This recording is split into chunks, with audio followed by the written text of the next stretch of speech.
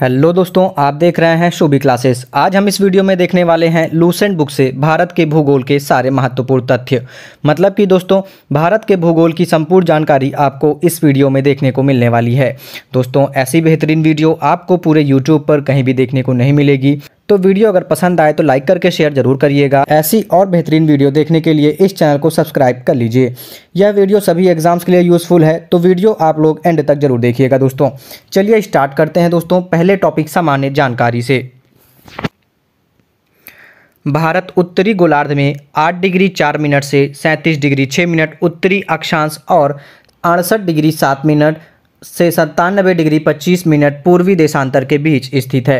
भारत उत्तरी गोलार्ध में 8 डिग्री 4 मिनट से 37 डिग्री 6 मिनट उत्तरी अक्षांश और अड़सठ डिग्री 7 मिनट से सत्तानबे डिग्री 25 मिनट पूर्वी देशांतर के बीच स्थित है संपूर्ण भारत का अक्षांशीय विस्तार 6 डिग्री 4 मिनट से सैंतीस डिग्री छः मिनट उत्तरी अक्षांश के मध्य स्थित है भारत का क्षेत्रफल बत्तीस लाख सत्तासी हज़ार दो सौ तिरसठ वर्ग किलोमीटर का है भारत का क्षेत्रफल बत्तीस लाख सत्तासी हज़ार दो सौ तिरसठ वर्ग किलोमीटर का है क्षेत्रफल की दृष्टिकोण से भारत विश्व का सातवां सबसे बड़ा देश है जबकि जनसंख्या के दृष्टिकोण से यह विश्व का दूसरा सबसे बड़ा देश है क्षेत्रफल की दृष्टि से भारत से भारत से बड़े छः देश हैं रूस कनेडा चीन संयुक्त राज्य अमेरिका ब्राज़ील और ऑस्ट्रेलिया है आठवां बड़ा देश अर्जेंटीना है भारत का क्षेत्रफल संपूर्ण विश्व के क्षेत्रफल का दो दशमलव चार दो प्रतिशत है जबकि इसकी जनसंख्या संपूर्ण विश्व की जनसंख्या का सत्रह दशमलव पाँच प्रतिशत है 2011 की जनगणना के अनुसार है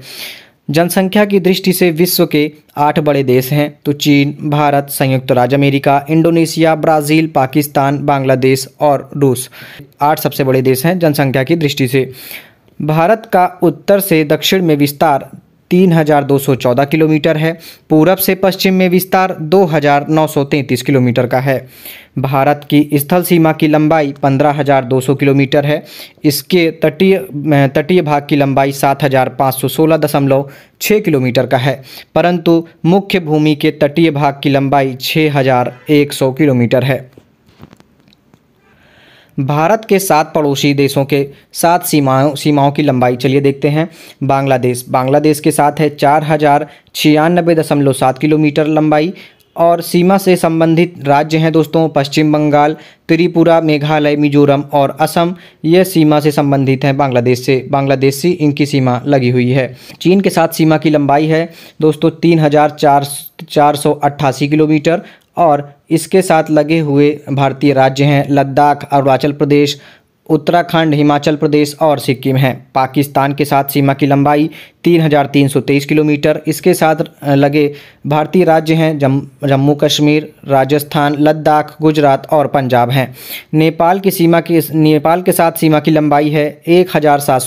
किलोमीटर इसके सीमा से संबंध भारतीय राज्य हैं उत्तर प्रदेश बिहार उत्तराखंड सिक्किम और पश्चिम बंगाल म्यांमार के साथ सीमा की लंबाई है दोस्तों भारत की एक किलोमीटर और म्यांमार की सीमा से संबंध भारतीय राज्य हैं अरुणाचल प्रदेश मिजोरम मणिपुर और नागालैंड भूटान के साथ लंबाई है दोस्तों भारत की सीमा की छः किलोमीटर और इसके साथ संबंधित राज्य हैं इसके सीमा से संबंधित राज्य हैं असम अरुणाचल प्रदेश पश्चिम बंगाल और सिक्किम हैं अफ़गानिस्तान के साथ सीमा की लंबाई 106 किलोमीटर की है और इससे और इसके साथ संबंधित भारतीय राज्य लद्दाख है जो कि पाक अधिकृत है कुल है दोस्तों पंद्रह हज़ार एक सौ छः दशमलव सात किलोमीटर भारत के कुल सोलह राज्य पड़ोसी देश की सीमा से जुड़ते हैं भारत के कुल सोलह राज्य पड़ोसी देश की सीमा से जुड़ते हैं भारत की जलीय सीमा या समुद्री सीमा से संबद्ध सात देश हैं पाकिस्तान मालदीव श्रीलंका बांग्लादेश म्यांमार थाईलैंड और इंडोनेशिया है पड़ोसी देशों से लगा सबसे लंबा संबंध राज्य कौन सा है तो बांग्लादेश के साथ सबसे लंबा संबंध राज पश्चिम बंगाल है जिसकी सीमा है 2216.7 किलोमीटर नेपाल के साथ संबंध राज्य दोस्तों उत्तर प्रदेश है जो कि छः किलोमीटर का है जो कि छः इक्यावन किलोमीटर का है म्यांमार के साथ संबंध सबसे लंबा राज्य है अरुणाचल प्रदेश जो कि 520 किलोमीटर है भूटान के साथ संबंध सबसे लंबा राज्य असम है जो कि दो किलोमीटर है पाकिस्तान के साथ संबंध राज्य राजस्थान है जो कि एक किलोमीटर है चीन के साथ संबंध सबसे लंबा राज्य दोस्तों है अरुणाचल प्रदेश जो कि 1080 किलोमीटर का है भारत की जल एवं स्थल सीमा से लगे देश बांग्लादेश म्यांमार और पाकिस्तान हैं भारत की जल एवं स्थल सीमा से लगे देश बांग्लादेश म्यांमार और पाकिस्तान हैं भारत का सबसे दक्षिणी बिंदु इंदिरा पॉइंट है यह बृहत निकोबार द्वीप में स्थित है इस पहले इसका नाम पिग मिलियन पॉइंट था यह भूमध्य रेखा से आठ किलोमीटर दूर है भारत के सबसे उत्तरी बिंदु इंदिरा कॉल जम्मू कश्मीर में है पश्चिमी बिंदु सरक्रीक गुजरात व पूर्वी बिंदु किबूतू अरुणाचल प्रदेश में है कोलाबा पॉइंट मुंबई में पॉइंट कालीमीरे तमिलनाडु में एवं पॉइंट पेड्रो जफाना श्रीलंका के उत्तर पूर्व में स्थित है भारत एवं चीन की सीमा को मैकमोहन रेखा कहते हैं यह रेखा 1914 में शिमला में निर्धारित की गई थी का काराकोरम रेंज भारतीय उपमहाद्वीप एवं चीन के मध्य एक जल विभाजक बनाती है 70 किलोमीटर लंबा यह ग्लेशियर काराकोरम में सबसे लंबा है और धरती पर ध्रुवों को छोड़कर दूसरा सबसे लंबा ग्लेशियर है इसे तीसरा ध्रुव भी कहा जाता है भारत और अफगानिस्तान के बीच डूरंड रेखा है जो कि अट्ठारह में सर डूरंट द्वारा निर्धारित की गई थी अब यह रेखा अफगानिस्तान एवं पाकिस्तान के बीच है भारत एवं पाकिस्तान के बीच रेड क्लिफ रेखा है जो 15 अगस्त उन्नीस को sir C J Radcliffe के द्वारा निर्धारित की गई थी भारत और नेपाल के मध्य काली नदी सीमा बनाती है पटकाई की पहाड़ियाँ भारत को म्यांमार से अलग करती हैं दक्षिण में श्रीलंका भारत से पाक जल संधि तथा मन्नार की खाड़ी द्वारा अलग होता है पाक जलडमरू मध्य में ही राम सेतु स्थित है श्रीलंका के बाद भारत का दूसरा निकटतम समुद्री पड़ोसी देश इंडोनेशिया है जो निकोबार द्वीप समूह के अंतिम द्वीप ग्रेट निकोबार में निकोबार के दक्षिण में स्थित है भारत का मानक समय इलाहाबाद के निकट मिर्जापुर से गुजरने वाली साढ़े बयासी डिग्री पूर्वी देशांतर रेखा को माना गया है जो ग्रीनविच समय से साढ़े पाँच घंटा आगे है और साढ़े बयासी डिग्री पूर्वी देशांतर पाँच राज्यों उत्तर प्रदेश मध्य प्रदेश छत्तीसगढ़ ओडिशा आंध्र प्रदेश से होकर गुजरता है कर्क रेखा लगभग भारत के मध्य से गुजरती है यह आठ राज्यों से होकर जाती है राजस्थान गुजरात मध्य प्रदेश छत्तीसगढ़ झारखंड पश्चिम बंगाल त्रिपुरा और मिजोरम से होकर गुजरती है कर्क रेखा पृथ्वी की चुंबकीय विश्वत रेखा दक्षिण भारत में त्रिवेंद्रम से गुजरती है भारतीय उपमहाद्वीप में सम्मिलित देश हैं भारत पाकिस्तान बांग्लादेश नेपाल व भूटान हैं सर्वाधिक राज्यों की सीमा से लगा राज्य उत्तर प्रदेश है इसकी सीमा आठ राज्यों यथा उत्तराखंड हिमाचल प्रदेश हरियाणा राजस्थान मध्य प्रदेश छत्तीसगढ़ झारखंड एवं बिहार से लगी है उत्तर प्रदेश की सीमा राष्ट्रीय राजधानी दिल्ली क्षेत्र से भी लगी हुई है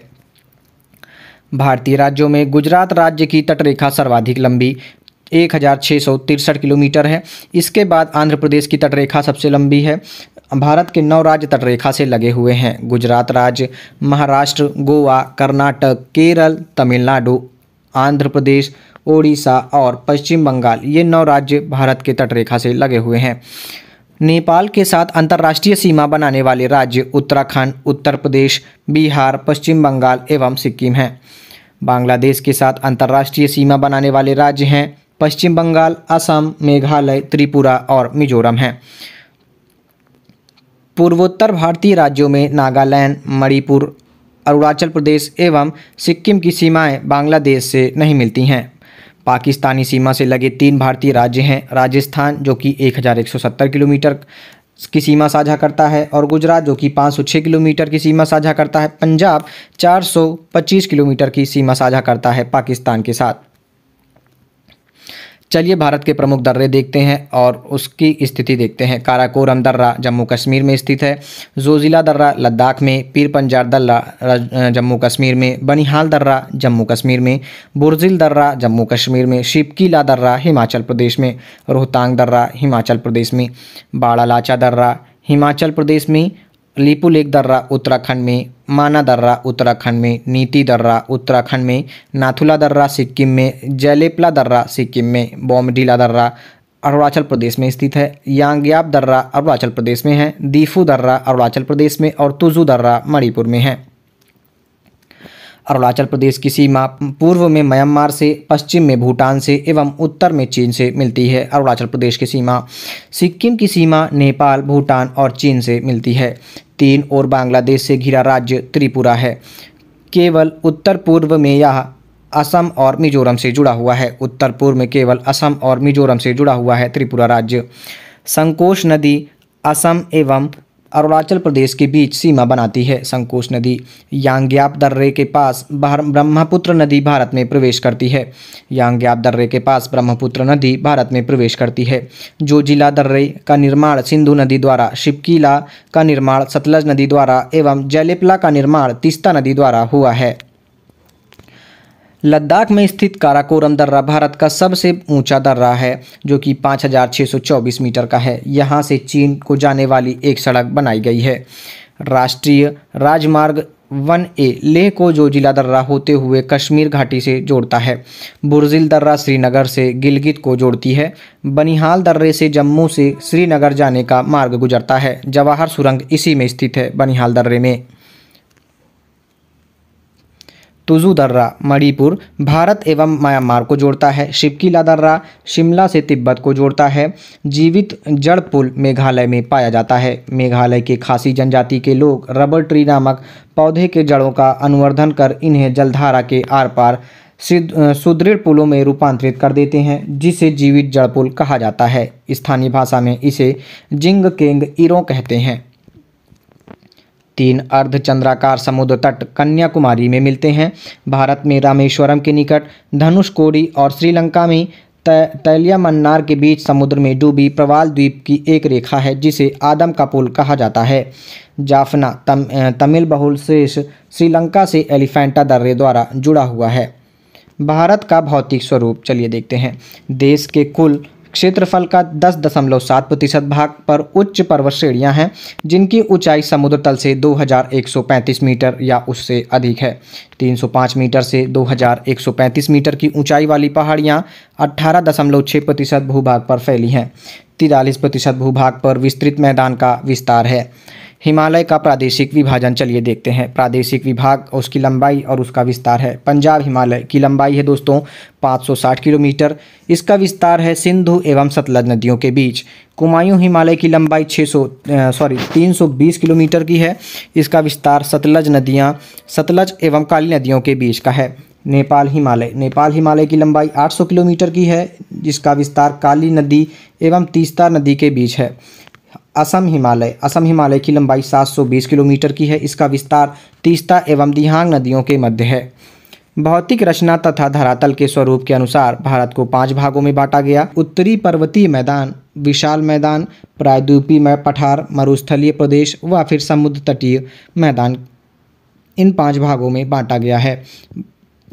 भूवैज्ञानिकों के मतानुसार जहां आज हिमालय पहाड़ है वहां टिथिस नामक उथला समुद्र था हिमालय की उत्पत्ति के संबंध में आधुनिक सिद्धांत तो प्लेट विवर्तन की प्लेट टेक्टोनिक्स हैं हिमालय की पर्वत श्रेणियाँ प्रायद्वीपीय पठार की ओर उत्तल एवं तिब्बत की ओर अवतल हो जाती हैं उत्तर के पर्वतीय क्षेत्र को चार प्रमुख समांतर पर्वत श्रेणी क्षेत्रों में बांटा जा सकता है पहला ट्रांस हिमालय क्षेत्र इसके अंतर्गत काराकोरम लद्दाख जास्कर आदि पर्वत श्रेणियाँ आती हैं के टू या गॉडविन ऑस्टिन 8,611 मीटर काराकोरम की सर्वोच्च चोटी है जो भारत की सबसे ऊंची चोटी है कश्मीर हिमालय करेवा के लिए प्रसिद्ध है जहां जाफरन की खेती की जाती है करेवा चिकनी मिट्टी और दूसरे पदार्थों का हिमोड़ पर मोटी परत के रूप में जमाव है वृहत हिमालय में जोजिला पीर पंजाल में बनिहाल जास्कर श्रेणी में फोटुला लद्दाख श्रेणी में खरदुंगला जैसे दर्रे स्थित हैं कश्मीर हिमालय क्षेत्र में ही मीठे जल की झील डल एवं वुलर एवं खारे जल की झील पोंगोंग पोंगोंगसो और सोमोरीरी स्थित है सोमोरीरी झील स्थित है वैष्णो देवी वैष्णो देवी अमरनाथ गुफा और चरार ए शरीफ जैसी तीर्थ स्थान कश्मीर या उत्तरी पश्चिमी हिमालय में स्थित है हिमाद्री अर्थात सर्वोच्च या फिर वृहद हिमालय यह हिमालय की सबसे ऊंची श्रेणी है इसकी औसत ऊंचाई 6000 मीटर है विश्व की सबसे ऊंची चोटी एवरेस्ट नेपाल इसी पर्वत श्रेणी में स्थित है कंचनजंगा नंगा पर्वत नंदा देवी कॉमेट एवं नामचा बारवा आदि इसके कुछ महत्वपूर्ण शिखर हैं वृहद हिमालय लघु हिमालय से मेन सेंट्रल थ्रस्ट के द्वारा अलग होती है अगली है दो अगला है दोस्तों हिमाचल श्रेणी अर्थात लघु या फिर मध्य हिमालय इस श्रेणी में पीर पंजाल धौलाधर मसूरी नागटीबा एवं महाभारत श्रेणियां हैं वृहद व लघु हिमालय के मध्य कश्मीर घाटी लाहौल स्पीति कुल्लू एवं कांगड़ा की घाटियाँ मिलती हैं यहाँ अल्पाइन चारागाह है जिन्हें कश्मीर घाटी में मर्ग गुलमर्ग सोनमर्ग तथा उत्तराखंड में बुगयाल या पायार कहा जाता है शिमला कुल्लू मनाली मंसू मसूरी दार्जिलिंग आदि लघु हिमालय में ही लघु हिमालय में ही हैं हिमालय की घाटियों में भोटिया प्रजाति के खाना बदोश लोग रहते हैं जो ग्रीष्म ऋतु में ऊपर बोगयाल में चले जाते हैं और शरद ऋतु में नीचे घाटियों में लौट आते हैं प्रसिद्ध फूलों की घाटी इस पर्वतीय क्षेत्र में स्थित है गंगोत्री यमुनोत्री केदारनाथ बद्रीनाथ और हेमकुंड साहिब इसी इलाके में स्थित हैं लघु हिमालय शिवालिक में मेन बाउंड्री फॉल्ट के द्वारा अलग होती है अगला है शिवालिक अर्थात निम्न या वाय हिमालय यह हिमालय का नवीनतम भाग है शिवालिक एवं लघु हिमालय के बीच कई घाटियाँ स्थित हैं जैसे कि काठमांडू घाटी पश्चिम में इन्हें दून या द्वार कहते हैं जैसे देहरादून और हरिद्वार शिवालिक के निचले भाग को तराई कहते हैं अरावली की पहाड़ियाँ राजस्थान राज्य में हैं यह सबसे पुरानी चट्टानों से बनी हुई हैं इस पहाड़ी की सबसे ऊंची चोटी माउंट आबू पर स्थित गुरु शिखर है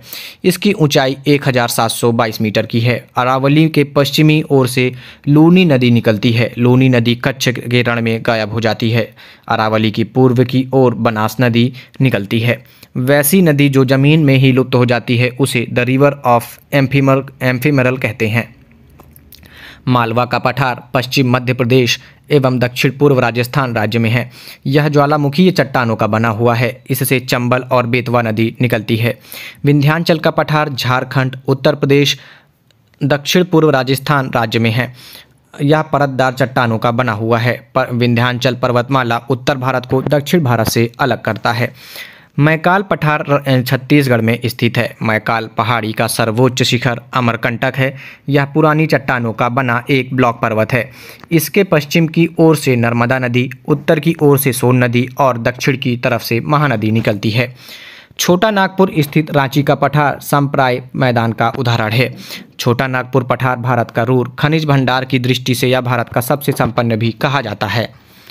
सतपुड़ा की पहाड़ियाँ मध्य प्रदेश में स्थित हैं ये ज्वालामुखीय चट्टानों से बनी हुई हैं इनकी सबसे ऊंची चोटी धूपगढ़ी 1350 मीटर की है जो महादेव पर्वत पर स्थित है इसके पूर्वी हिस्से से ताप्ती नदी निकलती है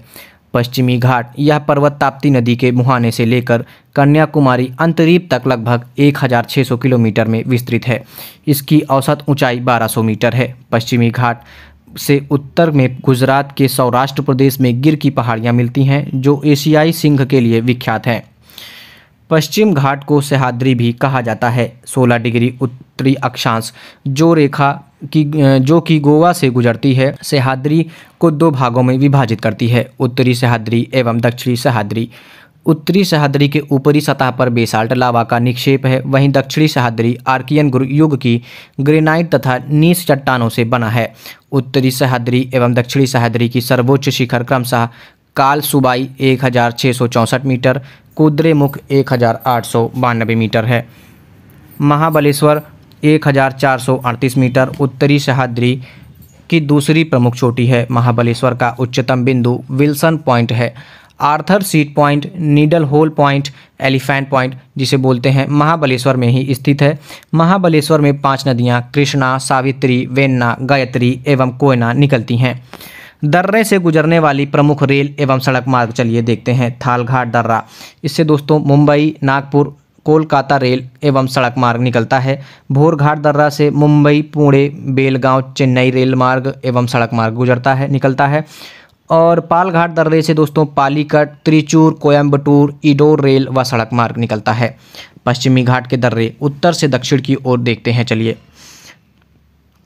थाल घाट दर्रा इसकी ऊंचाई 580 मीटर की है इसकी स्थिति नासिक एवं मुंबई के बीच का संपर्क मार्ग है भोर घाट इसकी ऊंचाई दोस्तों 630 मीटर की है इसकी स्थिति मुंबई एवं पुणे के बीच का संपर्क मार्ग है पाल घाट दर्रा दोस्तों इसकी ऊंचाई 305 मीटर की है कोयम्बटूर एवं कोचीन के बीच का संपर्क मार्ग है सेनकोटा सेनकोटा दर्रा 280 मीटर की ऊंचाई पर है तिरुवनंतपुरम एवं मदुरई के बीच का संपर्क मार्ग है दक्कन का पठार महाराष्ट्र राज्य में है यह ज्वालामुखी बेसाल्ट चट्टानों का बना है यह काली मिट्टी का क्षेत्र है इस पठार के पूर्वी भाग को विदर्भ कहा जाता है धारवाड़ का पठार कर्नाटक राज्य में है यह परिवर्तित चट्टानों से बना है इस पठार के पश्चिमी भाग में बाबा बुदुन की पहाड़ियाँ तथा ब्रह्मगिरी की पहाड़ियाँ हैं नीलगिरी की पहाड़ी तमिलनाडु में है जो एक ब्लॉक पर्वत है यह मुख्यतः चार चार नोकाइट पठार से बनी है इसकी सबसे ऊंची चोटी डोडाबेटा 2637 मीटर है जो दक्षिण भारत की दूसरी सबसे ऊंची चोटी है ऊटक मंड इसी पहाड़ी पर है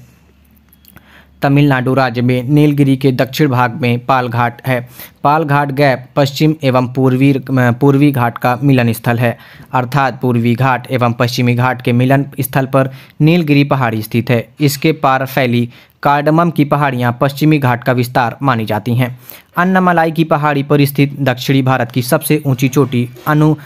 अनयमुड़ी है अनयमुड़ी है जो कि जिसकी ऊंचाई दो हज़ार छः सौ मीटर है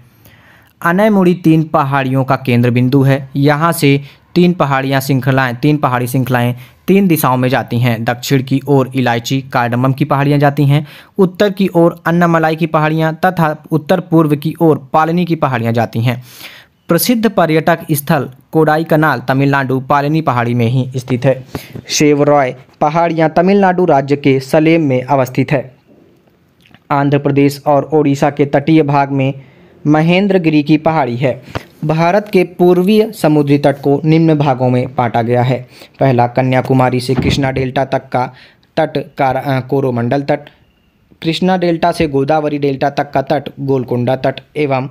गोदावरी डेल्टा से लेकर उत्तरी तटीय भाग उत्तरी सरकार तट कहलाता है भारत के उत पूर्वी तट पर स्थित प्रमुख बंदरगाह हैं पारादीप जो कि ओडिशा में है कोलकाता जो कि पश्चिम बंगाल में विशाखापट्टनम विशाखापट्टनम बंदरगाह आंध्र प्रदेश चेन्नई चेन्नई तूतीकोरन एवं एन्नोर बंदरगाह स्थित हैं भारत के पूर्वी तट पर विशाखापट्टनम बंदरगाह डॉल्फिन नोज पहाड़ी के पीछे सुरक्षित है पूर्वी स्थित पूर्वी तट पर स्थित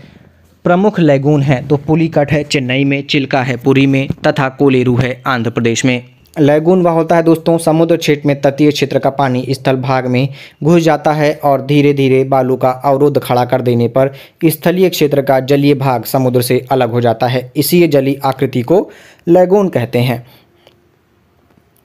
भारत के पश्चिमी तट को निम्न भागों में बांटा गया है पहला गुजरात से गोवा तक का तटीय क्षेत्र कोंकण तट गोवा से कर्नाटक गोवा से कर्नाटक के मैंगलुरु तक का तटीय क्षेत्र केनरा तट और मंगलुरु से कन्याकुमारी तट का तटीय क्षेत्र मालाबार तट कहलाता है भारत के पश्चिमी तट पर स्थित प्रमुख बंदरगाह हैं कांडला बंदरगाह गुजरात में मुंबई महाराष्ट्र में मार्मगोवा गोवा में मंगलुरु कर्नाटक में कोची केरल में और नहामाशोवा बंदरगाह महाराष्ट्र में है सालसेट सालसेट द्वीप पर स्थित मुंबई भारत का सबसे बड़ा बंदरगाह नगर है मालाबार तट पर अनेक पश्च जल है जिसे स्थानीय भाषा में कयाल कहते हैं कयाल मछली पकड़ने और अंतःस्थलीय नौकायान के लिए प्रयोग किया जाता है और पर्यटकों के लिए विशेष आकर्षण का केंद्र है केरल में हर वर्ष प्रसिद्ध नेहरू ट्रॉफी वलाम काली नौका दौड़ का आयोजन पुन्नामदा कयाल में किया जाता है भारत में दो द्वीप समूह हैं पहला अंडमान निकोबार द्वीप समूह और लक्षद्वीप द्वीप समूह अंडमान निकोबार द्वीप समूह बंगाल की खाड़ी में स्थित है जो जो कि क्षेत्रफल की दृष्टि से सबसे बड़ा केंद्र शासित प्रदेश है इसमें करीब दो छोटे छोटे द्वीप हैं निकोबार में 19 द्वीप हैं ये द्वीप वास्तव में समुद्र में डूबे हुए पर्वत के शिखर हैं लैंडफॉल द्वीप अंडमान निकोबार द्वीप समूह का सबसे उत्तरी द्वीप है कोको जलमार्ग इस इसे म्यांमार के कोको द्वीप से अलग करता है जहां चीन ने निगरानी तंत्र लगाया हुआ है अंडमान निकोबार द्वीप समूह की राजधानी पोर्ट ब्लेयर है दक्षिणी अंडमान में स्थित है पोर्ट ब्लेयर दक्षिणी अंडमान में स्थित है अंडमान और निकोबार द्वीप समूह में मैंग्रोव वन सदापरड़ी वन और पर्णपाती वनों का संयोजन है बंगाल की खाड़ी में नदियों ने जलोढ़ मिट्टी के निक्षेप द्वारा कट कई द्वीपों का निर्माण किया है हुगली के निकट 20 किलोमीटर लंबा सागर द्वीप है जिसे गंगा सागर के नाम से जाना जाता है यहाँ न्यू मोर नामक द्वीप का निर्माण हाल ही में हुआ है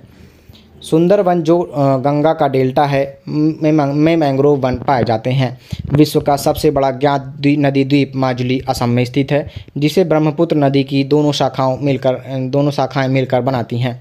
अंडमान निकोबार द्वीप समूह की सबसे ऊंची पर्वत चोटी सैंडल पीक है जो कि सात मीटर है उत्तरी अंटल उत्तरी अंडमान में स्थित है अंडमान और निकोबार के पर्वत शिखर चलिए देखते हैं सैंडल पीक उत्तरी अंडमान में स्थित है इसकी ऊंचाई 738 मीटर है माउंट थुलियार माउंट थुलियार की स्थिति है ग्रेट निकोबार में इसकी ऊंचाई 642 मीटर की है माउंट डियो वाली यह स्थित है मध्य अंडमान में और इसकी ऊंचाई 515 मीटर की है माउंट कोयोबो की स्थिति है तो, स्थित है दोस्तों दक्षिणी अंडमान में और इसकी ऊंचाई 460 मीटर की है माउंट हैरियट की की स्थित है स्थिति है दक्षिणी अंडमान में और इसकी ऊंचाई 450 मीटर की है केंद्र शासित प्रदेश का सबसे बड़ा पत्तन पोर्ट ब्लेयर दक्षिणी अंडमान है नेल्लोर के निकट श्रीहरिकोटा प्रवाल निर्मित द्वीप है पुलिकट झील इसी न, इसी द्वीप द्वारा समुद्र से विलग है यहाँ भारतीय अंतरिक्ष अनुसंधान संगठन का उपग्रह प्रक्षेपण केंद्र है प्रमुख जल अंतराल चलिए देखते हैं नाम और उसकी अवस्थिति देखते हैं आठ डिग्री चैनल मालदीव व मिनीकॉय के मध्य है नौ डिग्री चैनल कावरत्ती व मिनीकॉय के बीच है दस डिग्री चैनल छोटा अंडमान व कार निकोबार के मध्य है grand grand channel Sumatra Indonesia व निकोबार के बीच स्थित है पाक स्ट्रेट दोस्तों तमिलनाडु व श्रीलंका के मध्य है डुंकन पास अंडमान दक्षिणी अंडमान व लघु अंडमान के मध्य है डुंकन पास पोको Coco straight Coco straight Coco द्वीप म्यांमार व उत्तरी अंडमान के मध्य है पाक खाड़ी तमिलनाडु व श्रीलंका के मध्य है मन्नार खाड़ी दक्षिण पूर्व तमिलनाडु व श्रीलंका के मध्य है लक्षद्वीप सागर लक्षद्वीप व मालाबार तट के मध्य स्थित है सेतु समुद्रम परियोजना मन्नार की खाड़ी को पाक खाड़ी से जोड़ती है व्हीलर द्वीप उड़ीसा के तट पर ब्राह्मणी नदी के मुहाने पर स्थित यह स्थित है यहाँ भा, भारत पर अपने मिसाइल का परीक्षण करता है वर्तमान में इस द्वीप का नाम अब्दुल कलाम द्वीप रखा गया है पम्बन द्वीप मन्नार की खाड़ी में स्थित है यह भारत एवं श्रीलंका के बीच है जो एम एडम्स वृत्त राम सेतु का भाग है इसे रामेश्वरम द्वीप के नाम से भी जाना जाता है भारत में बैरन तथा नारकोंडा नामक दो प्रसिद्ध ज्वालामुखी द्वीप हैं बैरन द्वीप निकोबार द्वीप समूह में एक सक्रिय ज्वालामुखी है जबकि नारकोंडम सुषुप्त ज्वालामुखी है लक्षद्वीप द्वीप समूह अरब सागर में स्थित है इसमें कुल छत्तीस द्वीप हैं इसमें केवल ग्यारह द्वीप ही ग्यारह द्वीप पर ही आबादी है आंड्रेट लक्षद्वीप का सबसे बड़ा द्वीप है जिसका क्षेत्रफल चार दशमलव नौ जीरो वर्ग किलोमीटर का है मिनी क्वाय दूसरा सबसे बड़ा द्वीप है जिसका क्षेत्रफल चार दशमलव आठ जीरो वर्ग किलोमीटर का है पिटली द्वीप यहाँ मनुष्य का निवास नहीं है यहाँ पर एक पक्षी अभ्यारण्य है आगाती लक्षद्वीप समूह का एकमात्र द्वीप है जहाँ हवाई अड्डा है लक्षद्वीप समूह 11 डिग्री चैनल द्वारा दो भागों में विभाजित है उत्तर में अमीनी द्वीप और दक्षिण में नोरे द्वीप लक्षद्वीप समूह के सभी द्वीपों पर मलयालम भाषा बोली जाती है मिनिकॉय द्वीप एकमात्र अपवाद है जहाँ महल भाषा बोली जाती है महल देव ही लिपि में लिखी जाती है जो मूलतः मालदीव की भाषा है नोट है दोस्तों भारत के प्रवाल भित्ति क्षेत्र मन्नार की खाड़ी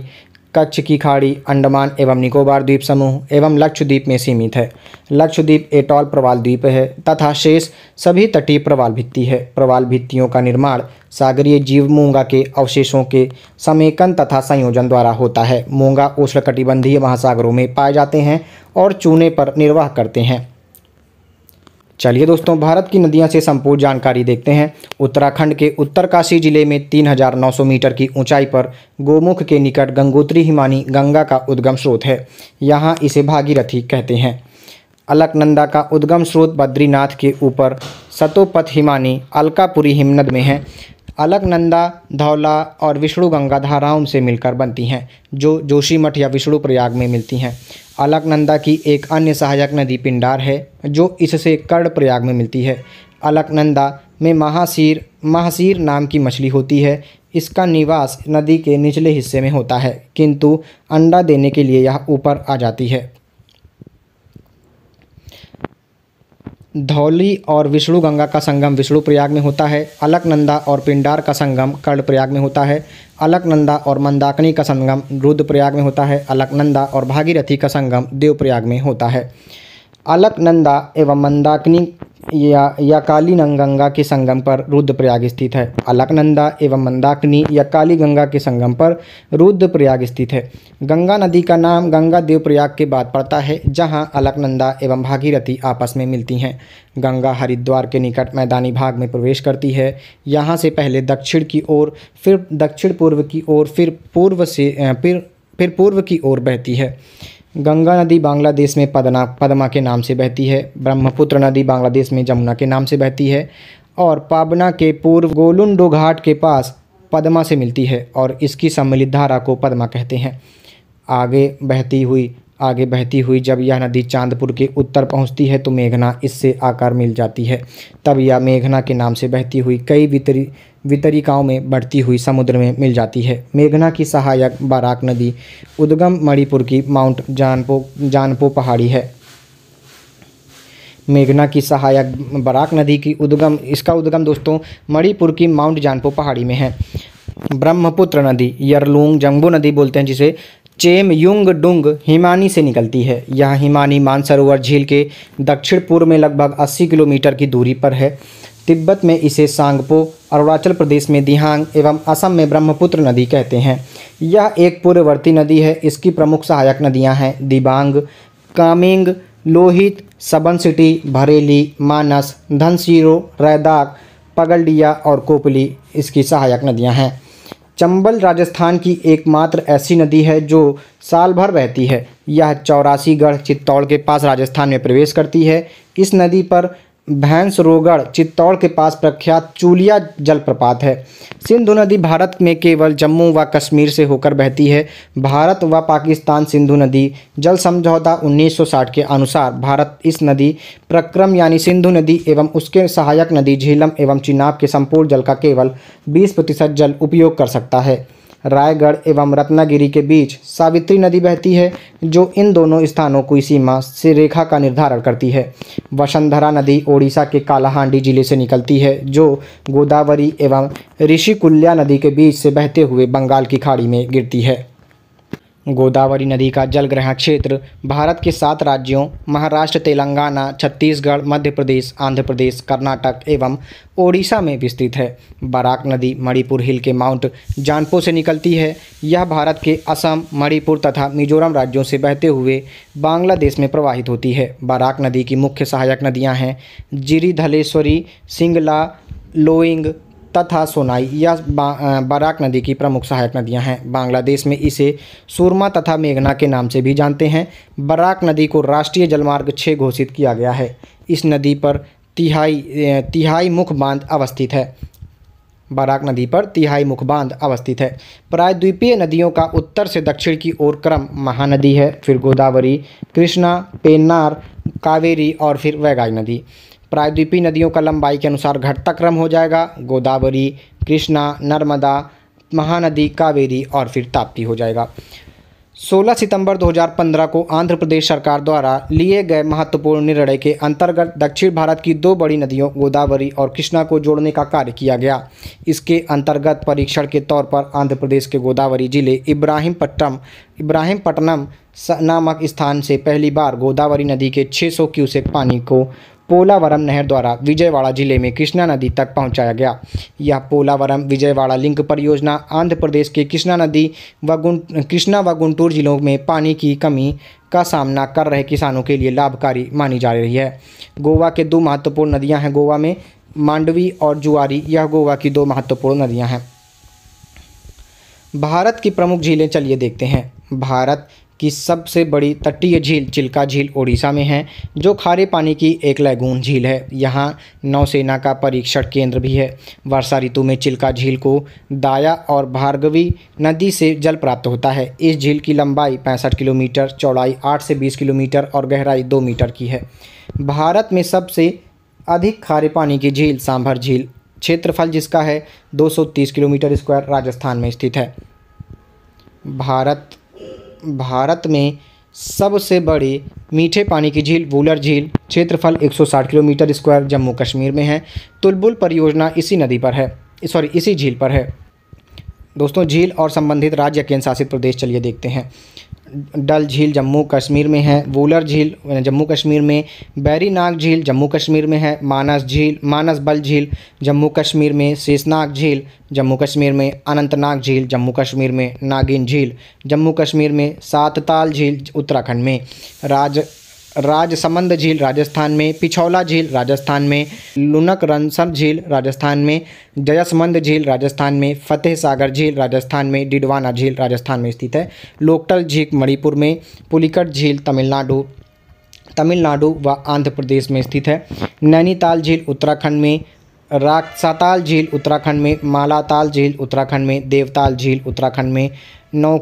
नौकुछियाताल झील उत्तराखंड में नूरखा नूर सॉरी खुरपताल झील उत्तराखंड में सांभर झील राजस्थान में है हुसैन सागर झील तेलंगाना में कोलेरू झील आंध्र प्रदेश में चिल्का झील ओडिशा में लोनार झील महाराष्ट्र में बेम्बनार झील केरल में अष्टमुड़ी झील केरल में पेरियार झील केरल में स्थित है भारत की सबसे बड़ी कृत्रिम झील गोविंद बल्लभ पंत सागर है जो रिहंद नदी पर बनाए गए बांध से बना हुआ है पहाड़ियों से घिरे अब केंद्रीय अपवाह वाले विस्तृत समतल गर्त को बॉल्सन कहते हैं ऊंट कांडाल पुल डल झील के बीच स्थित है और इसका अधिकांश भाग निषाद बाग से दिखाई पड़ता है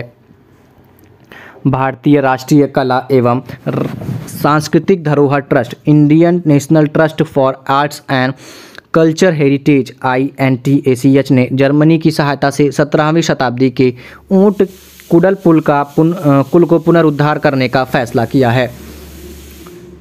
चौरस सतह तथा अनप्रवाहित द्रोड़ी वाली छोटी झीलों का को पलाया प्लेयर्स कहते हैं इसमें वर्षा का पानी जमा होता है परंतु जल्दी ही भाप बनकर उड़ जाता है अधिक नमक वाली प्लाया को सैलिनास कहते हैं प्लाया को अरब रेगिस्तान में खबारी तथा ममलाहा तथा सहारा में सिट्ट कहते हैं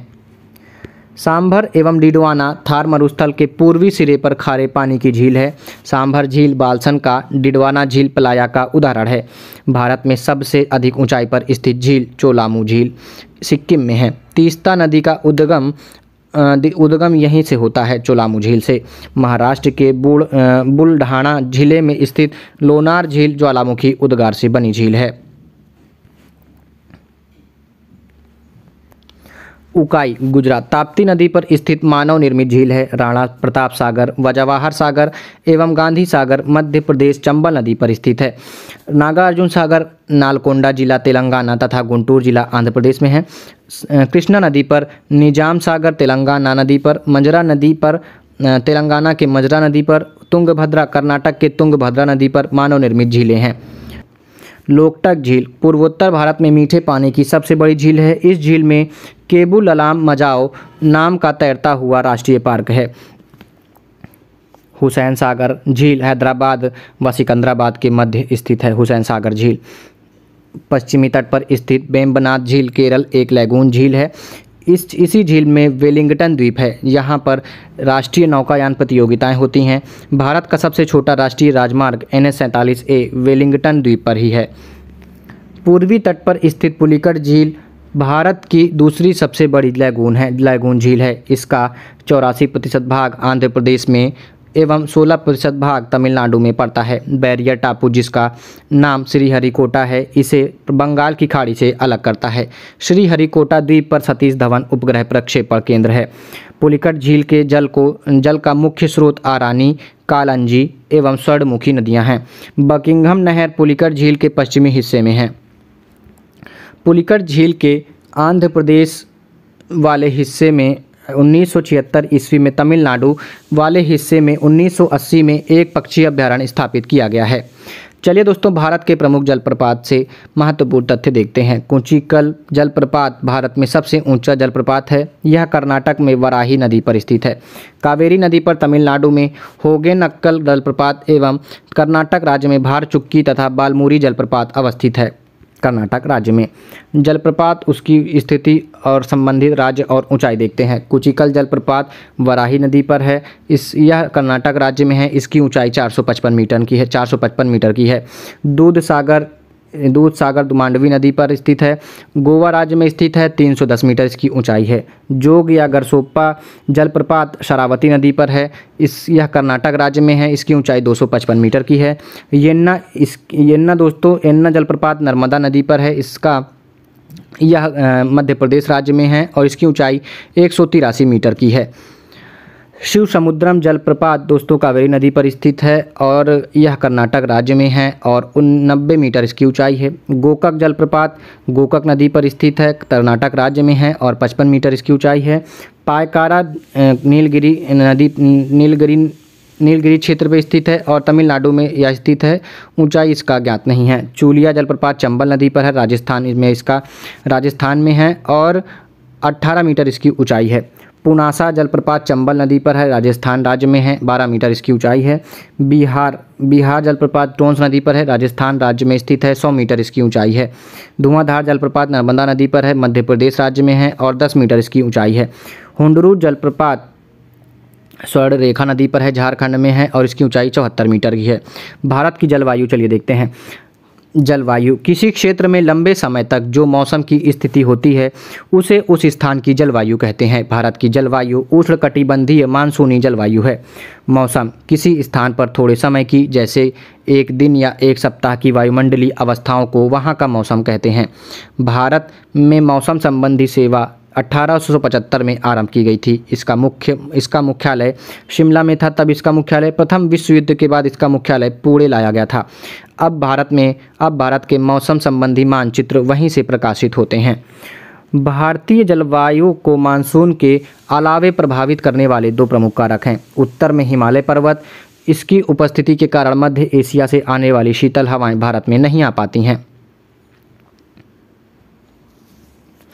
दक्षिण में हिंद महासागर इसकी उपस्थिति एवं भूमध्य रेखा की समीपता के कारण उष्ण कटिबंधीय जलवायु अपने आदर्श स्वरूप में पाई जाती हैं